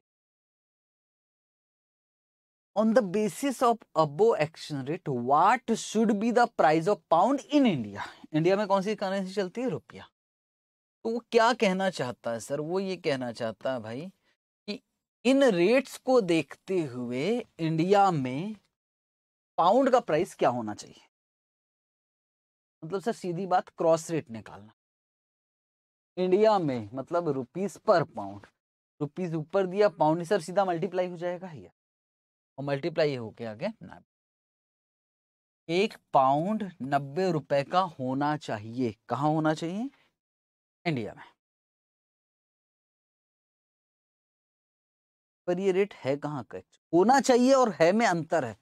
ये रेट है कहाँ का एक्चुअल ये रेट है तो यूएस का। और नो आर्बिट्रेज में क्या होता है, जो यूएस में रेट है, वही इंडिया में होना चाहिए। मतलब ये रेट इंडिया का नहीं निकला, ये रेट जो निकला है, वो निकला है एक्चुअल रेट है यूएस का। और हमारे हिसाब से यही इंडिया में होना चाहिए। पर इंडिया में तो यार रेट अस्सी रुपए है। तो क्या करोगे? सर पाउंड इंडिया से खरीदेंगे यूएस में बेचेंगे, दस रुपए का फ़ायदा। यही आर्बिट्रेज मज़ा। क्वेश्चन नंबर थर्टी टू, इसको ट्राइंगुलर आर्बिट्रेज भी बोलते हैं। इज़ मोस्ट इंपॉर्टेंट यहाँ से क्वेश्चन आ सकता है। तो भाई साहब भाई साहब भाई साहब, ध्यान से समझना है, यहाँ से क्वेश्चन आ सकता है। सर, थोड़ा स्लो चलो, इससे ज़्यादा स्लो क्या चलूँ इसको ट्राइंगुलर आर्बिट्रेज भी बोला जाता है। और मैं बड़ी आसानी से रूट पता करके बता सकता हूँ कि कैसे करना है, पर बेकार में इन सब चीज़ों में टाइम बर्बाद ना करोगे तो ज़्यादा अच्छा। ये सब मैंने बताया हूँ, करवाया हूँ और अभी रिवीजन का समय है तो काम काम की बात कर। रुपीस पर डॉलर दिया, डॉलर पर पाउंड दिया, पाउंड पर रुपीस दिया और कह रहा है कि आपके पास एक लाख रुपए है। क्या आर्बिट्रेज पॉसिबिलिटी है? अब ध्यान से समझ हमारे पास क्या है? एक लाख और एक लाख रुपए लगाकर अगर हम एक लाख रुपए से ज़्यादा कमा लिए तो आर्बिट्रेज तो सर कहाँ चले? अब ध्यान से, हमारे पास क्या रुपया? तो सर पहले ना एक काम करो, इंडिया में जाओ, इंडियन बैंक के पास और वहाँ रुपया देकर डॉलर ले लीजिए। बिल्कुल सही। अब आपके पास कौन सी करेंसी आ गई? डॉलर। फिर सर बोले यूएस पहुंचिए, वहाँ डॉलर देकर पाउंड ले लीजिए। पाउंड आ गया। यूके पहुंचिए, वहाँ पाउंड देकर रुपीज़ ले लीजिए। अगर रुपीज़ आपका एक लाख से ज़्यादा है तो आर्बिट्री या फिर दूसरा रूट है कि पहले आप यूके पहुँच जाइए। क्या लेकर? रुपया लेकर। रुपया से पाउंड पाउंड से डॉलर डॉलर से रुपीस तो मैंने आपको बताया था, किसी एक रूट में प्रॉफिट हो सवाल है कि वो रूट कैसे पता किया जा सकता तो मत करो। मैं करवा चुका हूँ और जो बच्चे मुझसे पहले क्लास लिए हुए, उनको पता है कि सर रूट बताते थे कि यार ऐसे पता लगाया जा सकता, क्रॉस रेट के माध्यम से टाइम बर्बाद करना है आईसीईआई भी नहीं करता। है तो ना, मेरी बात समझना, आपके पास करेंसी कौन सी है? रुपीज़ ये आपको दिया रहेगा। कभी भी याद रखना रुपीज़ से ही स्टार्ट करना है। आपके पास जो करेंसी बताएगा, उसी से स्टार्ट करना और वहीं पे खत्म करना। तो पहले रुपीज़ से डॉलर डॉलर से पाउंड और पाउंड से वापस रुपीस। रुपीस से डॉलर डॉलर से पाउंड पाउंड से रुपीस। रुपीस से ही स्टार्ट होना है और रुपीस पर ही खत्म होना और या फिर दूसरा रूट क्या हो सकता था? सर रुपीज़ से पाउंड, बिल्कुल सही, पाउंड से डॉलर और डॉलर से वापस रुपीस। अगर आप एक लाख रुपए खर्च कर रहे हो तो एक लाख से ज़्यादा आना चाहिए और किसी भी एक रूट में एक लाख से ज़्यादा आएगा। ये तो फाइनल है। कौन से रूट से आएगा? भाई साहब, कैलकुलेटर उठाओ और करो। इसको चेक करते। सुना ध्यान से। एक लाख से एक लाख लगाया तो एक लाख से ज़्यादा आएगा। हमारे पास क्या है? रुपीस। सर, यहाँ से स्टार्ट करें इंडिया से। एक लाख है रुपीस, एक लाख रुपीस है और डॉलर का रेट दिया है, बोलो क्या होगा? डिवाइड। यार, इतना तो आना चाहिए। Sixty point five sir, dollar आ गया one six five two point eight nine. मैं पहले कैलकुलेटर में चेक करूँगा। अब हमारे पास क्या आ गया डॉलर। और सर, पाउंड का रेट दिया, फिर divide. Divided by one point five zero four five. अब हमारे पास क्या आ गया पाउंड। रेट रुपया का दिया, फिर divide divided by point zero two five sir, यहाँ तो एक लाख लगाकर आ रहा है सिर्फ़ eight seven eight nine zero मतलब सर लॉस हो रहा है। यस तो किस रूट पे प्रॉफिट है? इस रूट सर चेक करके देखिए कि नहीं चेक क्यों करना है? पक्का प्रॉफिट है इस रूट पे। अब लिखना स्टार्ट कर दीजिए। और सर, इसी में आ गया। तो पक्का फिर ये करने की ज़रूरत नहीं है तो लॉस ही है। सिर्फ़ फिर लिखना स्टार्ट कर दीजिए। मतलब आपको एक ही बार करना। है इसमें लॉस आ गया मतलब इसी में गेन है और हम लिखना स्टार्ट करेंगे। मतलब हम कहाँ से जाएँगे? हम यूके से जाएँगे। तैयार हो? तो सर यूके से पहले क्या खरीदेंगे? वहाँ से पाउंड खरीदेंगे। आपके पास क्या है? रुपीस एक लाख और रुपया का रेट दिया तो मल्टीप्लाई होगा। एक लाख इंटू ये। तो सर ये आ गया पाउंड बारह सौ पाउंड है पाउंड का ही रेट दिया तो सर मल्टीप्लाई हो जाएगा। ये आ गया है डॉलर। डॉलर डॉलर के फिर मल्टीप्लाई हो जाएगा। ये वापस आ गया रुपीस। लग आया कितना? एक लाख तेरह हज़ार माइनस एक लाख तो आंसर आ गया वन थ्री सेवन। आ सकता है आ, पहले तो क्वेश्चन आ भी जाते थे चार नंबर के पाँच नंबर के पर अभी एमसीक्यू का बनता है इसका। बहुत ज़्यादा मुश्किल है नहीं। तो क्रॉस रेट के माध्यम से भी आप बता सकते हो कि बताना ही नहीं चाहता मैं। जो बताना था वो क्लास में बता चुका ये सब दिख रहा ना सब हम क्रॉस रेट करके देखें okay. Example number thirty three, bid और आस्क लेके तो बिड और आस्क लेके एग्ज़ाम्पल है, क्वेश्चन भी है तो सर क्वेश्चन करवाना ना एग्ज़ाम्पल क्यों कर? तो ट्राइंगल स्टार्ट करें क्वेश्चन। यस, बात किसकी हो रही? Spot market arbitrage. सर ये क्वेश्चन करने की ज़रूरत नहीं है छोड़ दो इसको। ये आईसीएआई का क्वेश्चन नहीं है बाहर का लिया हो छोड़ सकते ये वाला क्वेश्चन करना पड़ेगा भाई।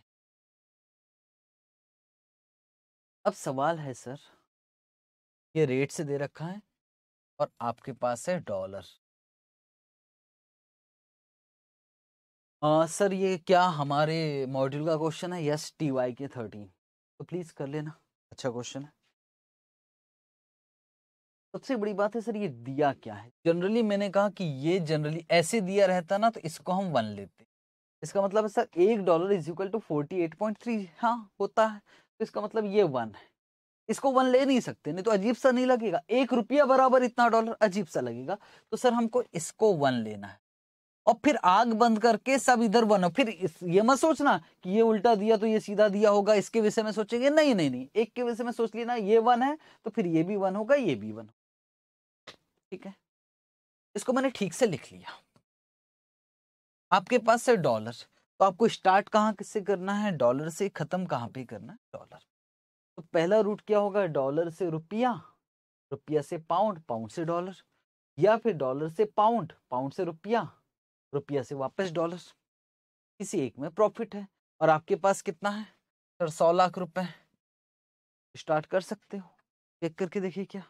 चलो सर, चेक करके देखिए। इधर से स्टार्ट करें क्या? चलो। तो सर, सौ लाख क्या है? डॉलर। तो डॉलर के रेट दिया into forty eight point three zero. ये क्या आ गया है? रुपया। सर, पाउंड का रेट दिया है। डिवाइड। ये क्या आ गया? पाउंड। और सर, पाउंड का ही रेट दिया तो मल्टीप्लाई। यस, सौ लाख से ज़्यादा आ गया। दस लाख है कि सौ लाख है, देख लेना। और ये आ गया वन वन ठीक है तो सीधा इसी पे गेन आ जाएगा आपका। बात खत्म। और सीधा लिख देना। तो क्वेश्चन नंबर सेवन खत्म हो गया हमारा। क्वेश्चन नंबर एट, ये तो कट ही कर दो, ज़्यादा अच्छा है। क्वेश्चन क्या करोगे? क्वेश्चन नंबर नाइन, ये भी कट ही कर दीजिए, आईसी का क्वेश्चन नहीं। ओके। ओके तो दो पॉइंट किया हमने। एक बेसिक किया और एक किया स्पॉट मार्केट आर्बिट्रेज अब आगे चले। अब बात है forward contract sir forward contract क्या है? कुछ नहीं है भैया। अगर हम इंपोर्ट करते हैं, ठीक है, और हमको जो पेमेंट करना वो आज नहीं करना, हमको जो पेमेंट करना वो दो महीने बाद करना। तो सर, दो महीने बाद अगर यूएस वाली पार्टी को पेमेंट करना है तो एक बात का डर है। इस बात कहीं डॉलर का रेट बढ़ना चाहे। तो उसके लिए यार हम बैंक से एक कॉन्ट्रैक्ट कर सकते कि बैंक फ्यूचर में हमें आप डॉलर्स कितने का दोगे? एक लाख डॉलर कितने का दोगे? आप बता दीजिए दिस इज़ फॉरवर्ड कॉन्ट्रैक्ट बस और कुछ नहीं। ओके। तो इस पे एक दो एग्ज़ाम्पल होना ज़रूरी है क्योंकि उसके बिना काम ये इंपॉर्टेंट टॉपिक है क्वेश्चन आ जाता है। लिखवा लिखवा, लिखा है इम्पोर्टेंट देखिए। कैसा प्लीज़ अच्छे से करना। Sir, spot rate spot rate का मतलब क्या होता है सर? आज का रेट। अगर हम आज डॉलर खरीदते हैं, लिखा import proceed one lakh dollar इसमें नहीं लिखा था क्वेश्चन में, पर मैंने लिख लिया और मैंने समझाया भी था यार इंपोर्ट किया तो हमको पेमेंट करना है, राम को पेमेंट करना है, किसे पेमेंट करना मिस्टर ए को एक लाख डॉलर तीन महीने बाद। आज रेट क्या है? सर, आज रेट है, अगर हम बैंक से डॉलर खरीदने जाएँगे तो बैंक बेचेगा seventy one point two five. इस बात पर आज तो खरीदना नहीं है। हमको, हमें कब खरीदना फ्यूचर में, तीन महीने बाद। इस बात का डर है कहीं रेट बढ़ ना जाए। आपको क्या लगता है कि रेट क्या हो जाएगा? और मेरा अनुमान है, किसका, राम का अनुमान है कि रेट हो जाएगा सेवेंटी फोर। ओहो! और राम ये सोच रहा है भगवान, मुझको लॉस हो सकता कितने का लॉस हो सकता? क्या अनुमान है? सर, अनुमान है कि रेट 74 हो सकता। है भाई तो कितने रुपए का लॉस हो सकता? एक्सपेक्टेड लॉस निकाल सकते सर, निकाल सकते हैं। एक लाख इंटू वैसे आज ये होता। सर, इन दोनों का डिफरेंस इंटू एक लाख कर सकते हो। पर नॉर्मल अगर करे तो नॉर्मल आईसीएआई टाइम पास करता और हम भी करेंगे। वो क्या करता है? वो कहता अगर हम आज डॉलर खरीदते हैं तो हमको मिलेगा seventy one lakh twenty five thousand और अगर हम आज नहीं कर, खरीदते और हेजिंग भी नहीं करते तो हमको जो डॉलर मिलता है, मिलेगा, वो तो सेवेंटी फोर के हिसाब से मिलेगा। तो बताओ एक्सपेक्टेड लॉस कितना हुआ? सबसे पहले एक्सपेक्टेड लॉस पूछ। और एक्सपेक्टेड लॉस निकाल लिया। ऐसे अलग अलग करके बताता है। हालाँकि आप कह रहे हो, इन दोनों के बीच का डिफरेंस इंटू एक लाख, वो भी चल जाएगा, कुछ जगह। ये पूछता है एक्सपेक्टेड लॉस दो लाख पचहत्तर हज़ार। अब बैंक कहता कि सुनो ना राम, आप एक काम करो, हमारे साथ कॉन्ट्रैक्ट कर लीजिए। हम आपको तीन महीने बाद डॉलर देंगे, बेचेंगे, और हमें, हम आपको बेचेंगे 72.50 में। इसको बोला जाता है फॉरवर्ड रेट क्या राम को फॉरवर्ड कॉन्ट्रैक्ट कर लेना चाहिए? तो सवाल ये है कि मैं कहूँगा कि हाँ जी, करो। चाहे आपका एक्सपेक्टेड कुछ भी करो हैच करो, क्योंकि आपका टेंशन तो खत्म हो जाएगा। पर वैसे जवाब नहीं देना होता। इट मीन्स जवाब देने के लिए आपको एक्सपेक्टेड आपका क्या लग रहा है आपको? अब कुछ को लग रहा बढ़ेगा बढ़ेगा। भाई तो चलो ठीक है seventy two point five zero में कॉन्टेक्ट कर लीजिए, दिक्कत क्या है? तो क्या कॉन्टेक्ट करना चाहिए? यस क्योंकि जो आपको पेमेंट करना, अगर आप हैजिंग नहीं करते तो ज़्यादा पेमेंट करना पड़ेगा।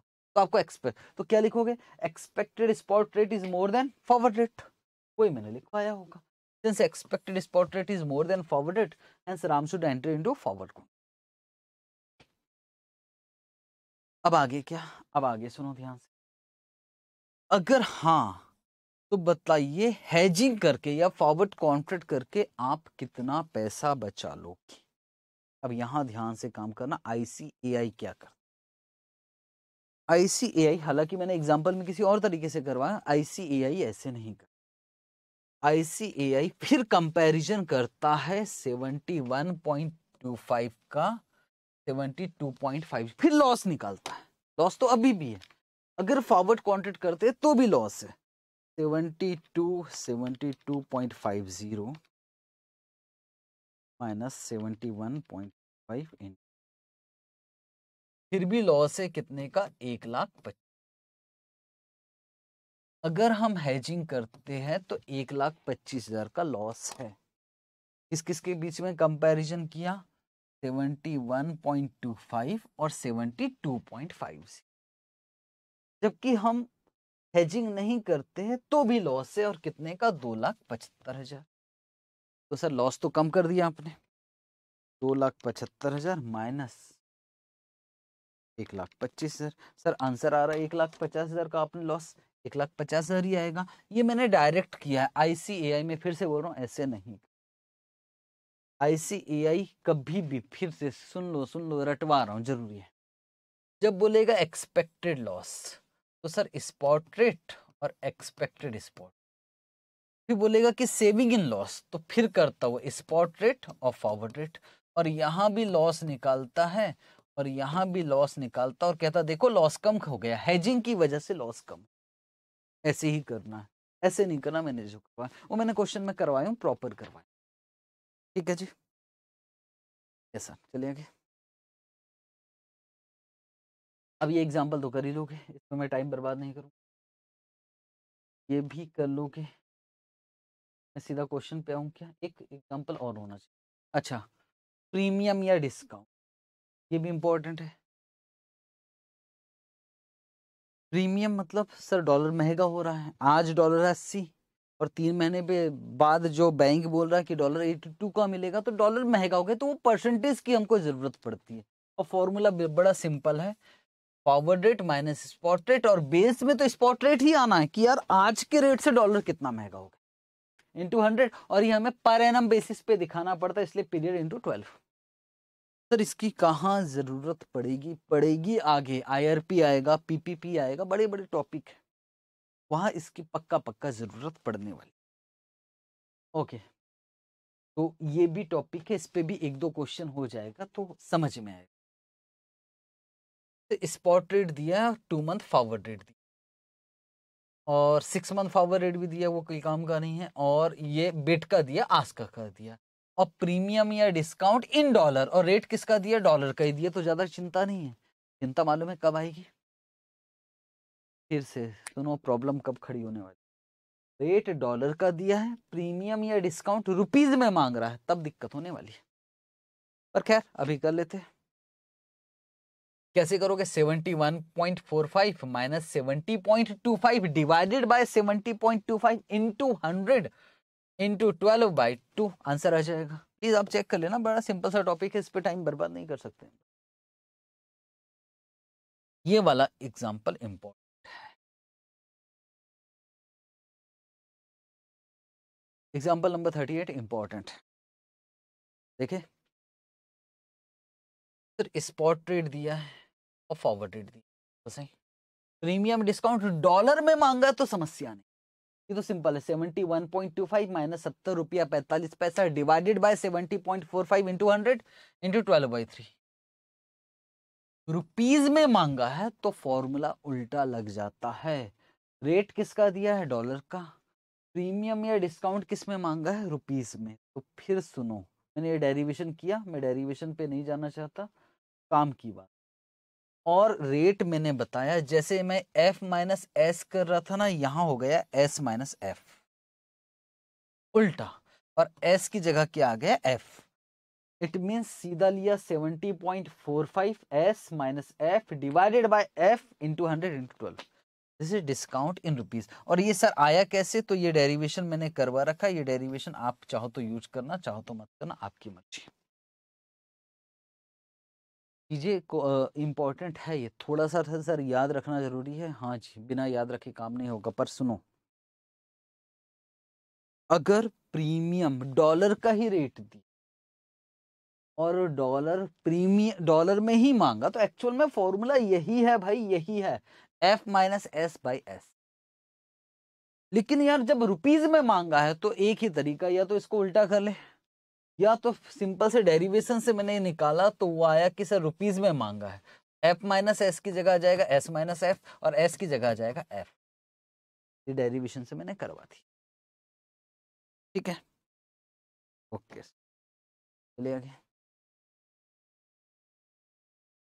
ठीक है, फिर तो ये बन जाएगा। अच्छा। अब यार चीज़ें आती हैं कि यार कभी कभी ना बैंक ना सीधा सीधा जब उसे फॉरवर्ड पूछो ना फॉरवर्ड रेट क्या चल रहा भाई बैंक वो सीधा नहीं बताता, वो स्वैप पॉइंट्स बोल देता है। पिप वगैरह होता, वो बहुत ज़्यादा डिटेल में नहीं जाना है सिंपल सी बात। स्वैप पॉइंट्स होता क्या है स्वैप पॉइंट कैसे काम कर तो बात है कि अगर ये दस और पंद्रह मतलब स्पॉट रेट दे दिया है, और फॉरवर्ड रेट के लिए सिर्फ़ स्वैप पॉइंट्स बोला है, दस और पंद्रह मतलब सर पहले कम है और फिर ज़्यादा है, यस असेंडिंग ऑर्डर में है। तो फॉरवर्ड रेट निकालने के लिए प्लस कर देते हैं। और सर अगर डिसेंडिंग ऑर्डर में है तो क्या कर देते हैं? माइनस कर समझते हैं। समझा रहा हूँ, समझा रहा हूँ, काम की चीज़। है ये बार बार आएगा आपके क्वेश्चंस में, इसलिए इसको समझना ज़रूर रुपीस पर डॉलर दिया है, साठ रुपये पच्चीस पैसे और ये फोर्टी फाइव क्या है? सर इसको ठीक से लिखो, साठ रुपये पच्चीस पैसे और साठ रुपये फोर्टी फाइव। अब वन मंथ हमने कहा bank bank one month forward rate क्या चल रहा है? उन्होंने कहा दस और पंद्रह। तो दस और पंद्रह हमको क्या करना पड़ेगा? सर, ये कम है, ये ज़्यादा तो सर प्लस करना पड़ेगा। वो प्लस किया, याद रखना, ये पैसा जैसा होता, पीछे से प्लस करना होता तो मैंने प्लस किया। आगे। अब मैंने कहा bank bank six month two month forward rate क्या चल रहा? उन्होंने बताया पच्चीस पंद्रह पच्चीस पंद्रह है तो माइनस करना पड़ेगा। फॉरवर्ड रेट निकालने के लिए माइनस सर असेंडिंग में है तो प्लस डिसेंडिंग में है तो minus question number forty one forty one example number मैं क्वेश्चन बोल रहा हूँ एग्ज़ाम्पल सर स्पॉट रेट है, ये चार डिजिट में है और स्वैप देगा तीस और साठ. तीस यहाँ आएगा और साठ यहाँ आएगा. मैंने कहा पीछे से मिलाना, तीस और साठ.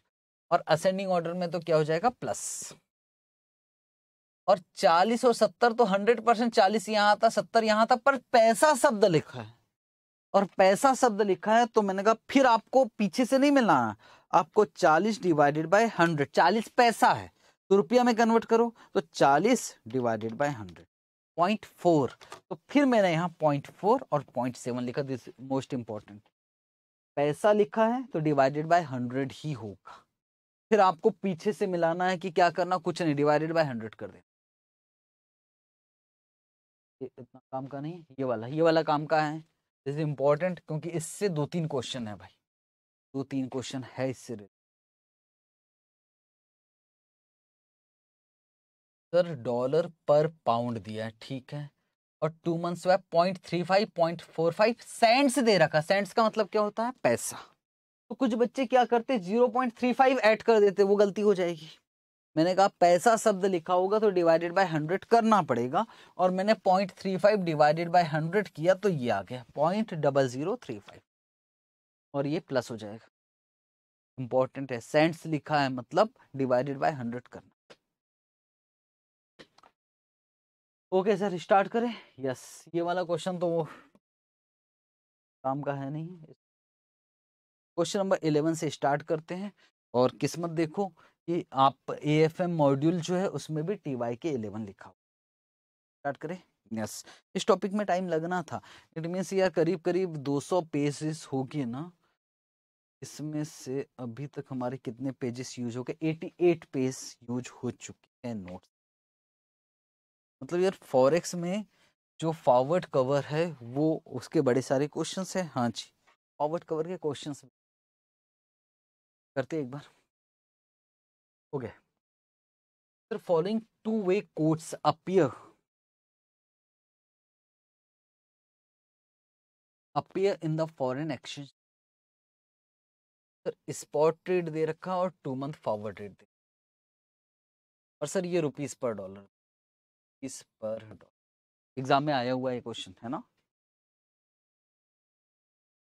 ये स्पॉट है बिडास्क और ये two month forward how many dollar should a firm sell to get 25 lakh after two month मतलब सर इस, ये वाला पूछ रहा है।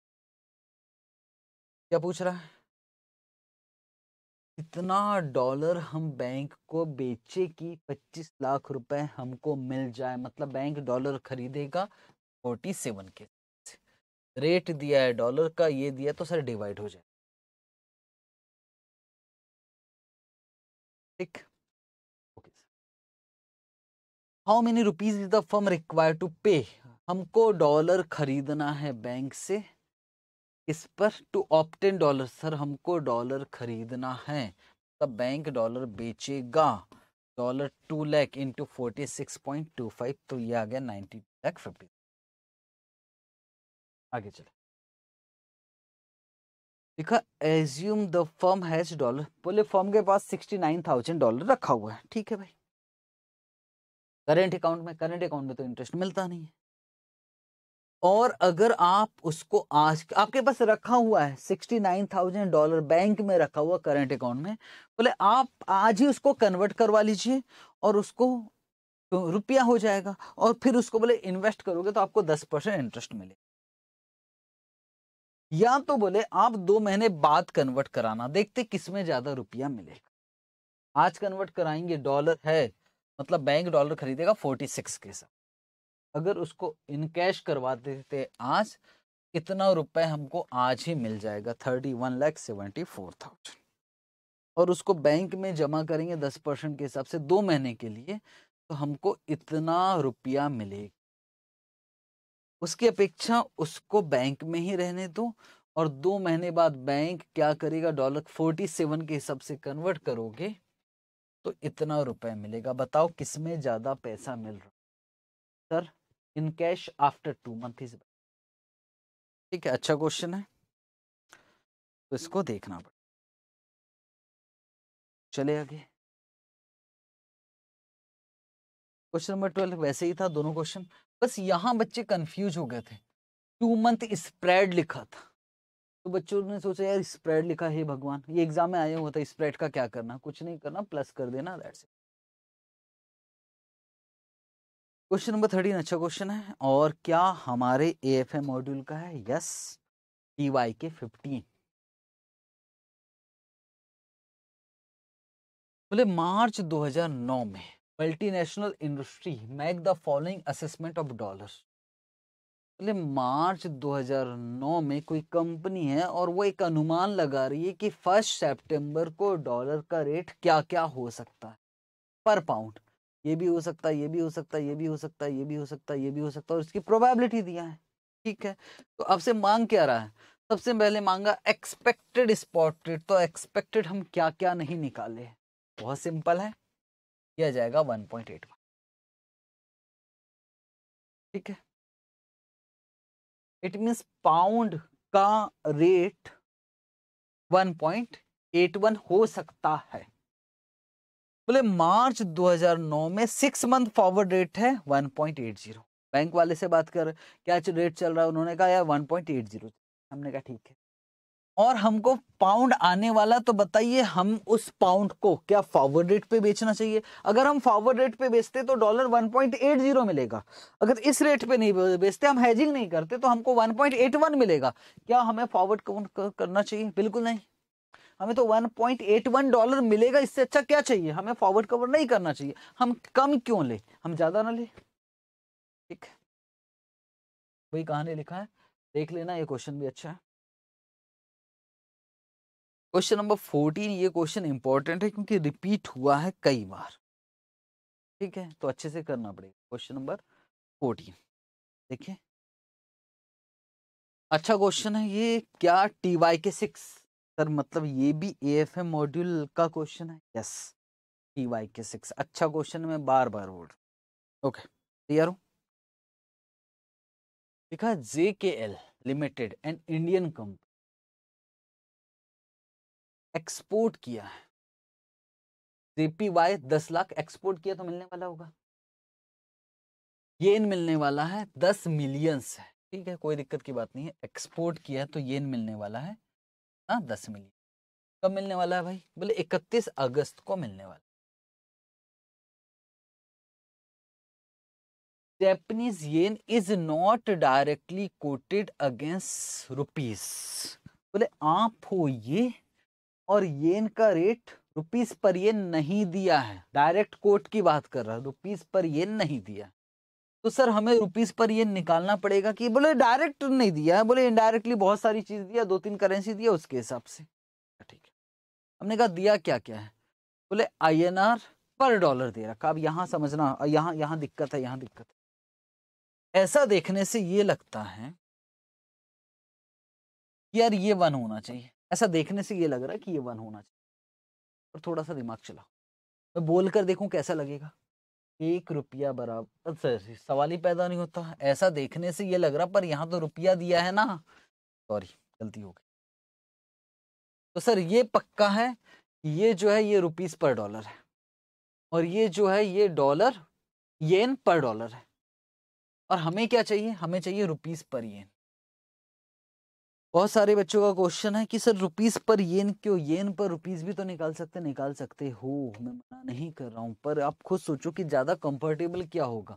हमको येन जो आ रहा है, उसको बैंक को बेचना है तो येन का रेट निकाल लीजिए, बात खत्म। ओके तो ये क्या दिया है? सर, ये दिया स्पॉट रेट और इसकी मदद से क्या रुपीस पर येन निकल सकता है? तो रुपीज़ ऊपर है मतलब वन से डिवाइड नहीं करना। ये नीचे चाहिए, सर, इसको वन से डिवाइड करना पड़ेगा, बिल्कुल निकल जाएगा। और निकल गया ये point six zero eight zero कौन सा रेट निकला? स्पॉट ठीक है। और एस्टिमेटेड का मतलब एक्सपेक्टेड एस्टिमेटेड स्पॉट रेट बोले yen will depreciate 124 and rupees to depreciate against dollar मतलब मतलब क्या कहना चाहता है? रुपीस पर येन निकल गया। अब एक्सपेक्टेड स्पॉट रेट के विषय में सुना क्या बोल रहा है? वो क्या बोल रहा है? यहाँ लिखा बोले, डॉलर के अगेंस्ट में जो रुपीज़ है, वो हो जाएगा सिक्सटी फाइव लिख लिया भाई। और जो येन हो जाएगा, वो हो जाएगा वन ट्वेंटी फोर वो भी लिख लिया। और हमें क्या निकालना है? रुपीज़ पर येन। सर, वो तो निकाल ही लेंगे। जैसे ये निकाला, वैसे ये निकाल लेंगे। वो भी निकाल लिया। वो आ गया एक्सपेक्टेड और इसके अलावा फॉरवर्ड रेट भी दिया तो फॉरवर्ड रेट भी हमने निकाल लिया। पहले नंबर पे क्या मांग रहा है? एक्सपेक्टेड लॉस मांग रहा मैंने क्या बताया था एक्सपेक्टेड लॉस का?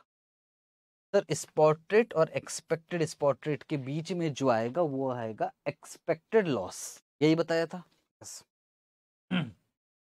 How the position will change if firm take forward अगर फर्म फॉरवर्ड कवर करती है तो भी क्या लॉस होगा? Yes yes! तो मतलब अब मुझे लॉस का, पहले ये वाला लॉस निकालना पड़ेगा। फिर spot rate and forward rate का लॉस निकालना पड़ेगा और फिर बताना है कि देखो लॉस हमारा इतना कम हो गया। देखते हैं। पहले नंबर पे क्रॉस रेट निकालना था, निकाल लिया। अब मुझे क्या करना एक्सपेक्टेड लॉस किस किस के बीच में? Spot rate and expected spot rate पहले मैंने कहा, यार येन दस लाख येन का रेट दिया तो स्पॉट स्पॉट रेट से मल्टीप्लाई कर दिया और मल्टीप्लाई कर दिया एक्सपेक्टेड स्पॉट रेट से तो मैंने कहा, यार, आठ लाख अड़तीस हज़ार रुपए का eight lakh thirty eight thousand का मुझे लॉस होगा। पर अगर मैं फॉरवर्ड कवर करता हूँ तो मुझे लॉस होगा फिफ्टी फोर थाउज़ेंड का। तो बताइए, मैंने लॉस कितना बचा लिया? सेवन लैख एटी तो क्या मुझे फॉरवर्ड कवर करना चाहिए? अब क्वेश्चन ये है कि आपने फॉरवर्ड कवर कर लिया मान लो। और आप पहुँच गए इकतीस अगस्त को, और उस दिन ये रेट हो गए। तो बताइए फॉरवर्ड कवर कर, करना अच्छा हुआ कि बुरा हुआ? तो फिर क्या हुआ? फिर हमने निकाला और ये रेट आ गया पॉइंट फिर हमने लॉस निकाला वापस। स्पॉट रेट और कौन सा वाला रेट एक्चुअल रेट और उससे भी लॉस आ रहा है एक लाख तीन हज़ार। अच्छा हुआ कि हमने फॉरवर्ड कवर किया। फॉरवर्ड कवर इज़ जस्टिफाइड ये आपको इतना सर वैसे तो यार कैलकुलेटर में हो सकता हो सकता है पर प्रेजेंटेशन ऐसे ही दिखाना पड़ेगा। देख रहे हो ना हाल प्रेजेंटेशन का? प्रेजेंटेशन इंपॉर्टेंट है भाई। कुछ भी कर लो प्रेजेंटेशन इंपॉर्टेंट है। मोस्ट इंपॉर्टेंट क्वेश्चन प्लीज़ करना है इस। क्वेश्चन नंबर फिफ्टीन और क्या ये भी मॉड्यूल का क्वेश्चन है? यस yes, ये है टी वाई के सेवनटीन पढ़े ये क्वेश्चन पढ़ने में ना अजीब सा लगता है, पर प्लीज़ पढ़ना पड़ेगा a, company operating in Japan has today, company कहाँ ऑपरेट हो रही है? जापान। और सेल्स किसको कर रही है? इंडियन कंपनी को। सर, ये जापान, और ये सेल कर रही है किसको? इंडियन कंपनी अब सवाल है कि आप जापान के लिए काम कर रहे हो कि इंडिया के लिए काम कर रहे हो? ये आगे पता लगेगा। और तीन महीने बाद पेमेंट करना, तीन महीने इनवॉइस अमाउंट कितना? 108 लाख की है। इनवॉइस है इनवॉइस जो बिल बना है वो येन में। इसने सेल किया तो इंडियन कंपनी देने वाली 108 लाख येन। अब ध्यान से समझना, बहुत सारे बच्चों के सर हम जापान के एंगल से सोचे कि इंडिया के एंगल से, जरा सोचना। अगर मैं जापान के एंगल से सोचूं तो इसको तो येन मिलने वाला है। इसको कोई रिस्क है क्या? अगर मुझे ये नहीं मिलने वाला है तो काय का रिस्क? नहीं। रिस्क किसको है? इंडियन वाले को, क्योंकि इसको येन देना है तीन महीने बाद। येन महँगा हो गया तो। इसको रिस्क है। तो वो इसी के एंगल से सोचना है हमको हंड्रेड परसेंट और आगे बताया अभी यहाँ और बोले स्पॉट रेट इक्विवेलेंट टू तीस लाख रुपए। ठीक है, वो बोल रहा है कि 108 लाख येन बराबर है 30 लाख रुपए के। दिस इज़ स्पॉट रेट अब स्पॉट रेट में दिक्कत क्या है?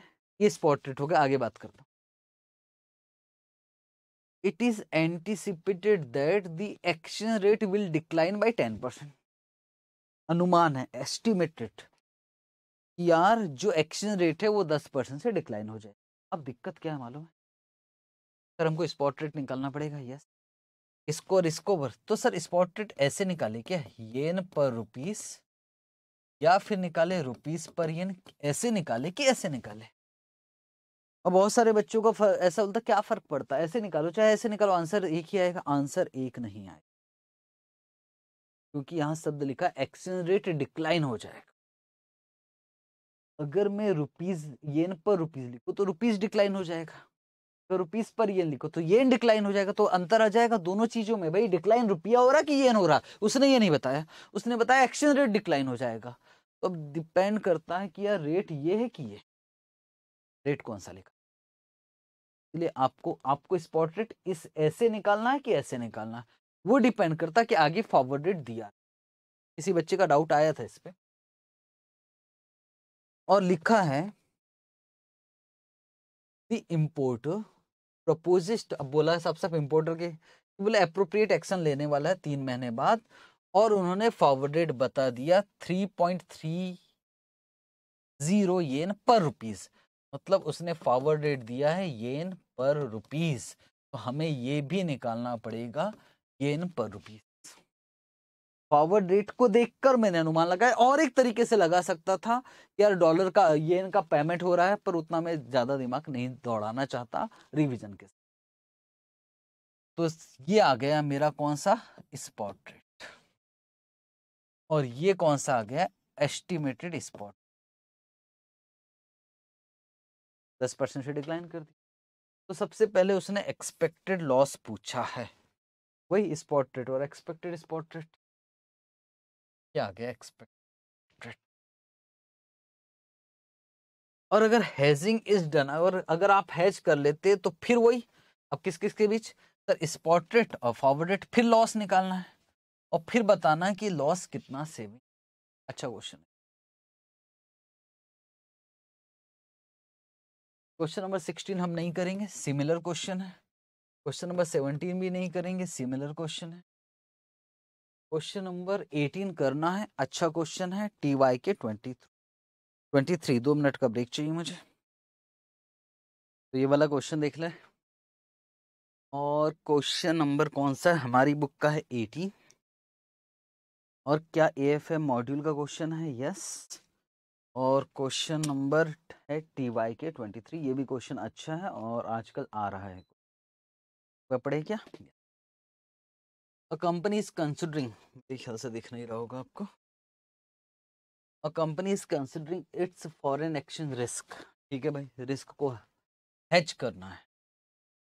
और it has made a purchase on first July 2016 which it has to make a payment dollar sixty thousand on December दो, इकतीस दो हज़ार सोलह। सर कहना क्या चाहता है? कहना ये चाहता है कि भाई इसको डॉलर परचेज करना है एक पर्सन है, एक कंपनी है, डॉलर परचेज करना है। आज की डेट है एक जुलाई और सर परचेज करना है साठ हज़ार डॉलर छः महीने बाद छः महीने बाद। और प्रेजेंट एक्सचेंज रेट है एक डॉलर सिक्सटी फाइव। का और बात हो गई है कि हम 64 के हिसाब से खरीद लेंगे तो टेंशन खत्म। सर उस हिसाब से इसको साठ हज़ार डॉलर 64 के हिसाब से मिल जाएगा मतलब thirty eight lakh forty thousand. तो फॉरवर्ड कॉन्ट्रैक्ट करना पड़ेगा। The company will have to make upfront premium two percent on forward amount ये एक अजीब सी बात है। अजीब सी बात है मतलब मतलब मैंने आपको पढ़ाया था कि फॉरवर्ड कॉन्ट्रैक्ट पे कभी भी प्रीमियम नहीं देना होता, इसमें प्रीमियम मांग रहा है। टू परसेंट देना, कब देना है? आज। और आज देना है तो उसका अपॉर्चुनिटी कॉस्ट कितना लेना पड़ेगा? ट्वेंटी ट्वेल्व परसेंट रेट क्या फिक्स हुआ है? रेट हुआ है सर सिक्सटी सिक्सटी फोर अगर मार्केट में 64 से ज़्यादा अच्छे मैंने बात 64 से ज़्यादा है तो ठीक है, फिर तो हमको प्रॉफिट है। लेकिन अगर 64 से कम हो गया तो भी हमको 64 में ही खरीदना पड़ेगा, तब हमारा लॉस है। और एक लॉस किस चीज़ का है? प्रीमियम का है। तो बोल रहा प्रॉफिट लॉस निकालो, अगर डॉलर का रेट हो जाए 68 तो सर ये तो प्रॉफिट है। पहले एक काम करो प्रीमियम कितना देना पड़ रहा?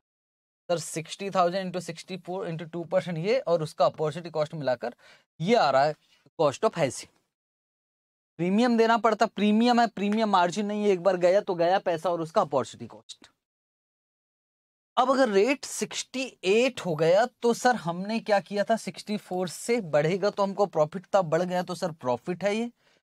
दो लाख चालीस हज़ार का, पर उसके लिए हेजिंग कॉस्ट लग गया eight one four zero eight तो नेट प्रॉफिट आ गया one five eight five nine two sir अगर सिक्सटी टू हो गया तो लॉस है भाई sixty four minus sixty two एक लाख बीस हज़ार और हेजिंग कॉस्ट ऐड कर लेंगे तो ये आ अगर रेट हो गया सेवेंटी और सिक्सटी फाइव तो मेरे ख्याल से अब ये कर सकते हो, यहाँ मैंने लिख दिया अच्छा क्वेश्चन है T Y K twenty three करना होगा अच्छा क्वेश्चन है क्वेश्चन नंबर नाइनटीन कट कर सकते हो। ये रिपीट क्वेश्चन है। क्वेश्चन नंबर ट्वेंटी भी कट कर सकते हो, हालाँकि क्वेश्चन मैंने क्लास वर्क में करवाया था। उसके पीछे ये था एक्सपेक्टेड तो प्लीज़ इसको देख लेना, इसको मैं वापस नहीं करवा रहा हूँ क्योंकि मेरे पास सॉल्यूशन है नहीं। वो आपको मैंने होमवर्क दे दिया, समझा? क्वेश्चन नंबर ट्वेंटी वन और क्वेश्चन नंबर ट्वेंटी टू एक जैसा है। ट्वेंटी वन कट कर रहा हूँ और ट्वेंटी टू करना पड़ेगा सर हमारी ए एफ़ एम मॉड्यूल में है टी वाई के नाइनटीन देखिए एक बार यस ये क्वेश्चन में कुछ है नहीं है बच्चा क्वेश्चन है, बस थोड़ा एक पॉइंट को लेकर दिक्कत। सर, एक्सल एक्सपोर्टर है और एक एक्सपोर्ट बिल है, कितने का है? डॉलर वन लाख का। Dollar one lakh exporter. और ड्यू कब होने वाला है? साठ दिन। मतलब सर, साठ दिन में डॉलर आने वाला है, yes. They are worried about the following dollar और डर किस बात का? कहीं डॉलर का रेट कम ना हो जाए। अभी क्या चल रहा है sir? Forty five point six zero. The concern export consignment has been price at exchange rate forty five point five zero. Sir, ये क्या कहना चाहता इसके विषय में मैंने आपको बताया हूँ रीजन। जब हमने एक्सपोर्ट किया, सर, एक्सपोर्ट किया, जो भी मैंने कहा कि सुना ध्यान से, इसका मैंने रीजन क्या बताया था? जब हम एक्सपोर्ट कर रहे थे तो हम देखेंगे ना, यार, ये इंडिया में कितने का बिक रहा है? सपोज़ इंडिया में forty five lakh fifty thousand का। कितने का? तो मैंने कहा, यार, कम से कम रेट है forty five point five zero forty five five point five zero तो मेरा अनुमान है कि अगर एक लाख ये अनुमान है, एक लाख डॉलर मुझे मिलता। मैंने उस हिसाब से प्राइस किया। ताकि मुझे एक लाख डॉलर मिले, उसको forty five point five zero के हिसाब से कन्वर्ट करवा लूँ तो forty five lakh fifty thousand मुझे मिलना चाहिए। ये मेरा अनुमान था। इस रेट के हिसाब से मैंने प्राइस किया था। अगर रेट कुछ और हो जाता है तो फिर दिक्कत है, फिर तो लॉस हो जाएगा। पर मेरा अनुमान था, ये अनुमान है, अनुमान एक्सपेक्टेशन अच्छा कि रेट जो रहेगा, वो forty five point five zero रहेगा। उस हिसाब से ही प्राइस किया गया है। बाकी एक्सप्लेन मैंने आपको कर दिया था कि इस हिसाब से प्राइस किया गया। पर ये कौन सा रेट है? स्पॉट रेट ये क्या है? जब शिपमेंट किया था, तब प्राइस किया था। डिटेल में डिस्कशन किया था। फॉरवर्ड रेट क्या है? Forty five point two zero discount forward premium या डिस्काउंट निकालना है तो F R minus S divided by S into hundred तीन सौ पैंसठ दिन लेना है तो आंसर आ रहा five point three four percent मेरे ख्याल से, और प्रीमियम के विषय में कुछ नहीं बोला है कि डॉलर का कि रुपीस का तो डॉलर का ही होगा। अब बोल रहा probable loss of operating profit if forward sale is agreed ये बच्चों को समझ में नहीं मेरा ये कहना है, जब एक्सपोर्ट किया तो जब एक्सपोर्ट किया तो उस समय जब हमने एक्सपोर्ट किया तो हमने ये मान के चला कि हमने इस तरह से इनवॉइसिंग किया कि हमको एक dollar forty five point five zero का पड़ेगा। उस हिसाब से वो मैंने डिटेल में डिस्कस और sir forty five point two zero है फॉरवर्ड कॉन्ट्रैक्ट मतलब हमारा अनुमान था कि forty five point five zero आएगा। पर आ रहा forty five point two zero तो सर लॉस हो गया। Yes into dollar one lakh तो सर कितने का लॉस हो गया? तीस हज़ार। सर इस पॉइंट के लिए प्लीज़ क्लास देख लेना, अगर समझ में ना आए तो। वहाँ मैंने डिस्कस किया है कि ये क्या चीज़ है। लगेगा आपको तो मैं वीडियो डाल दूँगा, अगर लगेगा। ठीक है क्वेश्चन नंबर ट्वेंटी सिक्स क्या ये भी इम्पोर्टेंट है? यस। और ये है T Y K twenty four. ये भी क्वेश्चन अच्छा है। देखिए एक बार। बड़े क्वेश्चन है। Following information relate to A K C limited. भाई, ऐसा है कि कुछ इलेक्ट्रॉनिक डिवाइसेस के कुछ पार्ट्स एक्सपोर्ट किए जाते हैं। यूएस में, जापान में और यूरोप और जो आने वाला है वो 90 डेज़ में आने वेरिएबल कॉस्ट दे रखा है। सेलिंग प्राइस दे रखा है येन में, डॉलर में, यूरो और जो आने वाला है वो नब्बे दिन बाद इतना येन आने वाला है, इतना डॉलर आने वाला है, इतना यूरो आने वाला है, ठीक है। अगर इतना आने वाला है और सेलिंग प्राइस एक यूनिट का ही है तो नंबर ऑफ़ यूनिट्स निकल सकते हैं आराम से। और स्पॉट प्राइस रुपीस का दे रखा स्पॉट प्राइस दे रखा और थ्री मंथ फॉरवर्ड प्राइस दे रखा, ठीक है? और थ्री मंथ स्पॉट प्राइस भी दे रखा कहाँ यूज़ होगा वो बताऊँगा। Advice AKC limited by calculate average contribution to sales ratio बोले, भाई साहब ऐसा करो, आप कंट्रीब्यूशन टू सेल्स रेशो निकालो। वेदर इट शुड और बोल रहा है कि बताइए फॉरेन हैच करना चाहिए कि नहीं? Contribution to sales ratio sir PV ratio बोल सकते कि बोल सकते सर किसका निकालना है? अब वो नहीं बताया, लेकिन मैं ऐसे समझ रहा हूँ कि अगर हम फॉरवर्ड कॉन्ट्रैक्ट करते हैं तो पैसा कुछ और आएगा। अगर स्पॉट करते हैं तो पैसा कुछ और आएगा। सबसे पहले डिसाइड ये कर लेते कि कौन से रेट से spot contribution to sales ratio मतलब हमको कंट्रीब्यूशन निकालना पड़ेगा, पहले समझ लो अच्छे से। सर, एक तो हमको वेरिएबल कॉस्ट पता लगाना वेरिएबल कॉस्ट पर यूनिट दिया। सर, नंबर ऑफ़ यूनिट्स निकालना पड़ेगा तो मैंने एक टेबल बनाया है। मैंने कहा कि यार 90 डेज़ में इतने वाला, आने वाला सेलिंग प्राइस पर यूनिट है तो नंबर ऑफ़ यूनिट्स हो गया, उसको वेरिएबल कॉस्ट से मल्टीप्लाई किया तो पूरा वेरिएबल कॉस्ट आ गया। यहाँ तक कोई दिक्कत नहीं। अब सवाल ये है कि सेल्स कैसे निकाल? वो डिपेंड करता है कि आप फॉरवर्ड कवर कर रहे हो या एक्सपेक्टेड स्पॉट। सर मान लो हम फॉरवर्ड कवर ये सर ये एक्सपेक्टेड स्पॉट रेट मान लेते हैं। सर फॉरवर्ड कवर करते हैं तो आप सोचते हैं थोड़ा सा। ये आएगा सर, यस। और बैंक क्या करेगा सर? येन खरीदेगा, पर रेट किसका दिया रुपया क्या बैंक रुपया बेचेगा तो ये वाला रेट यहाँ भी बैंक रुपया बेचेगा, यहाँ भी बेचेगा। ठीक? इट मीन्स आपको पहले किससे करना है? फॉरवर्ड कवर से करके देख और सेवेंटी एट लाख ये है और रेट रुपये का दिया तो डिवाइड ही होगा। ये क्या किया? जो सेल्स है, अगर आप फॉरवर्ड कवर करते हैं तो मैंने डिवाइड करके रुपीज़ में निकाला। ठीक है? सर, इंडिविजुअल नहीं कर रहा हूँ, बहुत ज़्यादा डिटेल पर चर्चा हुई कि इंडिविजुअल करना चाहिए, बहुत सारी चीज़ें। मैं कह रहा हूँ कि उसने जो बोला है, उसने शब्द लिया है, average contribution to sales ratio. तो उन्होंने क्या किया? सुनना ध्यान से। उन्होंने सारी वेरिएबल कॉस्ट को प्लस कर दिया। ठीक है, अगर फॉरवर्ड कवर करते तो जितना भी पैसा आएगा उसको भी प्लस कर दिया। और सेल्स में से वेरिएबल कॉस्ट माइनस किया तो क्या आ गया? कंट्रीब्यूशन और इसके हिसाब से कंट्रीब्यूशन टू सेल्स रेशियो निकाला, वो आया 19.557 अगर हेजिंग नहीं करते हैं तो फिर उन्होंने ये वाला रेट उठाया और इसके हिसाब से निकाला वापस तो ये आ गया हमारा सेल्स वेरिएबल कॉस्ट, मालूम है तो कंट्रीब्यूशन आ गया और फिर आ गया 19.17 और इन दोनों के हिसाब से उन्होंने कहा, यार, ज़्यादा यहाँ है तो contribution to sales ratio higher है फॉरवर्ड कवर में तो फॉरवर्ड कवर करना चाहिए। हालाँकि इस मैटर पे हमारी बहुत चर्चा हुई थी कि, सर, हमको इसके लिए फॉरवर्ड कवर हो सकता है, इसके लिए फॉरवर्ड कवर नहीं हो सकता तो इंडिविजुअल बेसिस पे डिसीज़न लेना चाहिए था। नहीं लिया।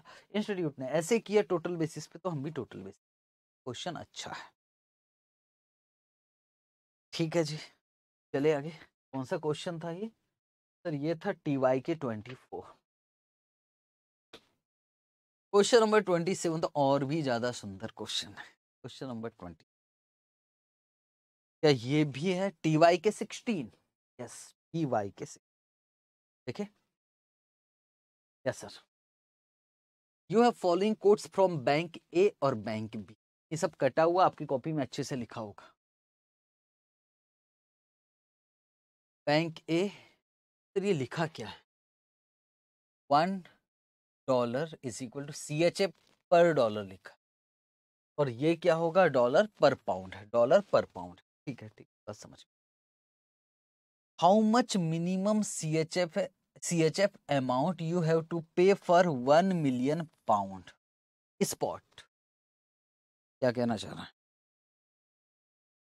सर ये कहना चाह रहा है कि हमको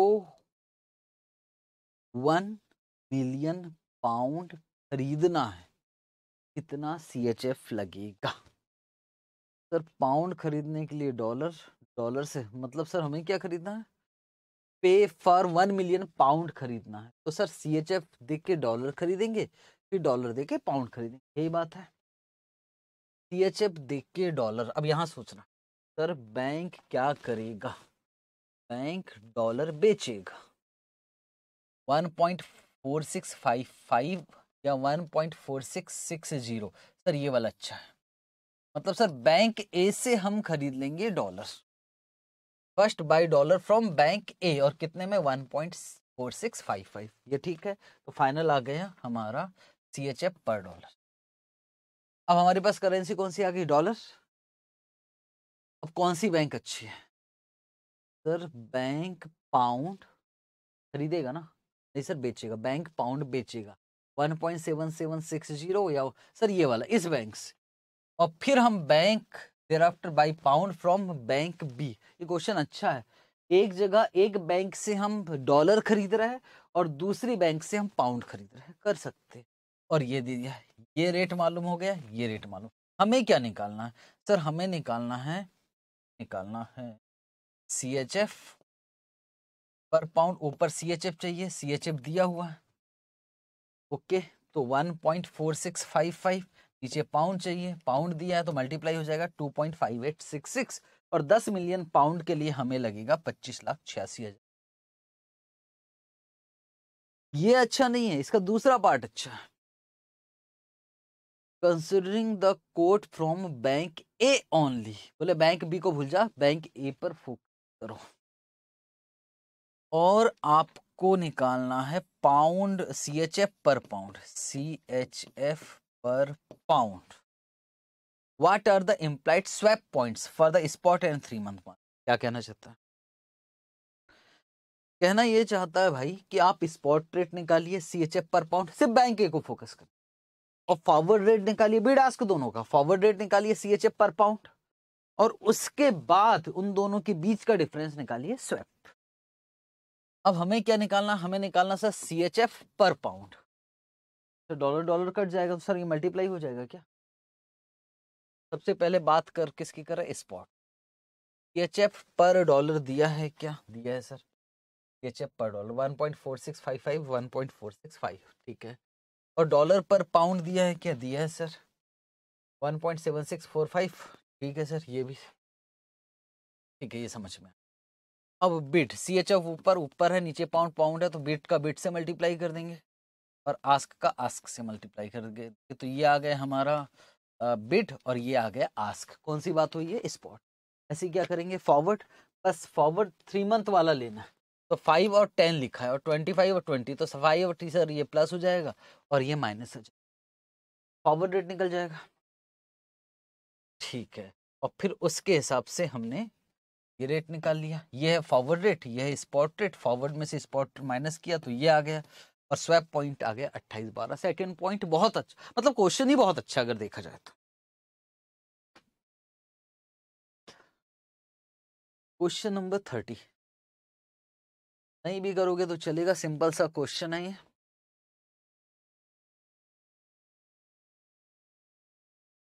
सर, ये स्पेकुलेशन वाला है, ये तो कर लोगे, ये तो डेरिवेटिव में खूब किया है। ये वाला क्वेश्चन देख लेना, क्वेश्चन नंबर ट्वेंटी नाइन हमारी बुक में टी वाई के ट्वेंटी हमारी बुक में मतलब ए एफ़ एम मॉड्यूल का है टी वाई के ट्वेंटी इसमें करना क्या सुनो। बोले, दो अलग अलग मार्केट है, एक I M I M M market मतलब इंटरनेशनल मॉनेटरी मार्केट ओके? वहाँ पाउंड का रेट क्या चल रहा है? ये? और उसी टाइम पर फ्यूचर एक है फॉरवर्ड मार्केट फॉरवर्ड मार्केट बोलूँ? यस सर फॉरवर्ड मार्केट है और एक है फ्यूचर मार्केट फ्यूचर मार्केट में पाउंड का रेट क्या चल रहा है? One point two eight zero six तो अगर आपको sixty two five hundred pound खरीदना और बेचना तो कहाँ से खरीदोगे, कहाँ बेचोगे? सर 1.2806 में खरीदेंगे 1.2816 में बेचेंगे इंटू सिक्सटी तो सर हमें गेन हो जाएगा 62.50 बहुत सिंपल क्वेश्चन है, और ए एफ़ एम मॉड्यूल में भी डला हुआ। क्वेश्चन नंबर ट्वेंटी एट क्या ये भी मॉड्यूल का क्वेश्चन है? Yes T Y K six अच्छा सर, पढ़े बात को। An importer customer of your bank wishes to book a forward contract तो इम्पोर्ट कस्टमर है, वो फॉरवर्ड कॉन्ट्रैक्ट बुक करना और कित क्या चाहिए? बोले सिंगापुर डॉलर पाँच लाख और कब चाहिए? बोले तीस सेप्टेम्बर ठीक है, तीस सेप्टेम्बर को सामने वाले पर्सन को, मैं हूँ बैंक सामने वाले को चाहिए सिंगापुर डॉलर फाइव लाख। कौन सी डेट में? थर्ड सेप्टेम्बर मतलब सेप्टेम्बर में। Spot rate on third September ये स्पॉट रेट दे रखा थर्ड सेप्टेम्बर थर्ड सेप्टेम्बर को नहीं चाहिए थर्ड सेप्टेम्बर को आया, चाहिए कब? चाहिए तीस अक्टूबर ठीक है सर, बात समझ और स्पॉट रेट दे रखा है सर, यहाँ प्रिंट नहीं था, ये दे रखा है डॉलर पर रुपीज़ डॉलर पर रुपीस तो नहीं होगा, इसको हम अच्छे से लिखेंगे तो रुपीस पर डॉलर ठीक है, और ये क्या हो जाएगा, जब इसको हमने पहले लिखा रुपीस पर डॉलर तो ये भी पहले आ जाएगा, सिंगापुर डॉलर पर डॉलर ठीक। हम कहाँ के रहने वाले हैं? सर, कुछ नहीं दिया है तो हम इसको ऐसे करेंगे सर, हमें चाहिए रुपीस पर सिंग। हमको ये देखना कि हमको एक सिंगापुर डॉलर कितने का पड़ेगा। कब? तीस अक्टूबर। हमें रेट कौन सा लेना है? हमको फॉरवर्ड रेट ये और यहाँ टू मंथ वाला लेना पड़ेगा, फिर क्रॉस रेट करना पड़ेगा। तो पहले रेट डिसाइड कर ले कि दोनों रेट सर दोनों ही निकालते ना, मैंने यहाँ दोनों निकाला। हालाँकि मैं वन से भी काम करवा सकता था, पर मैंने दोनों निकाला।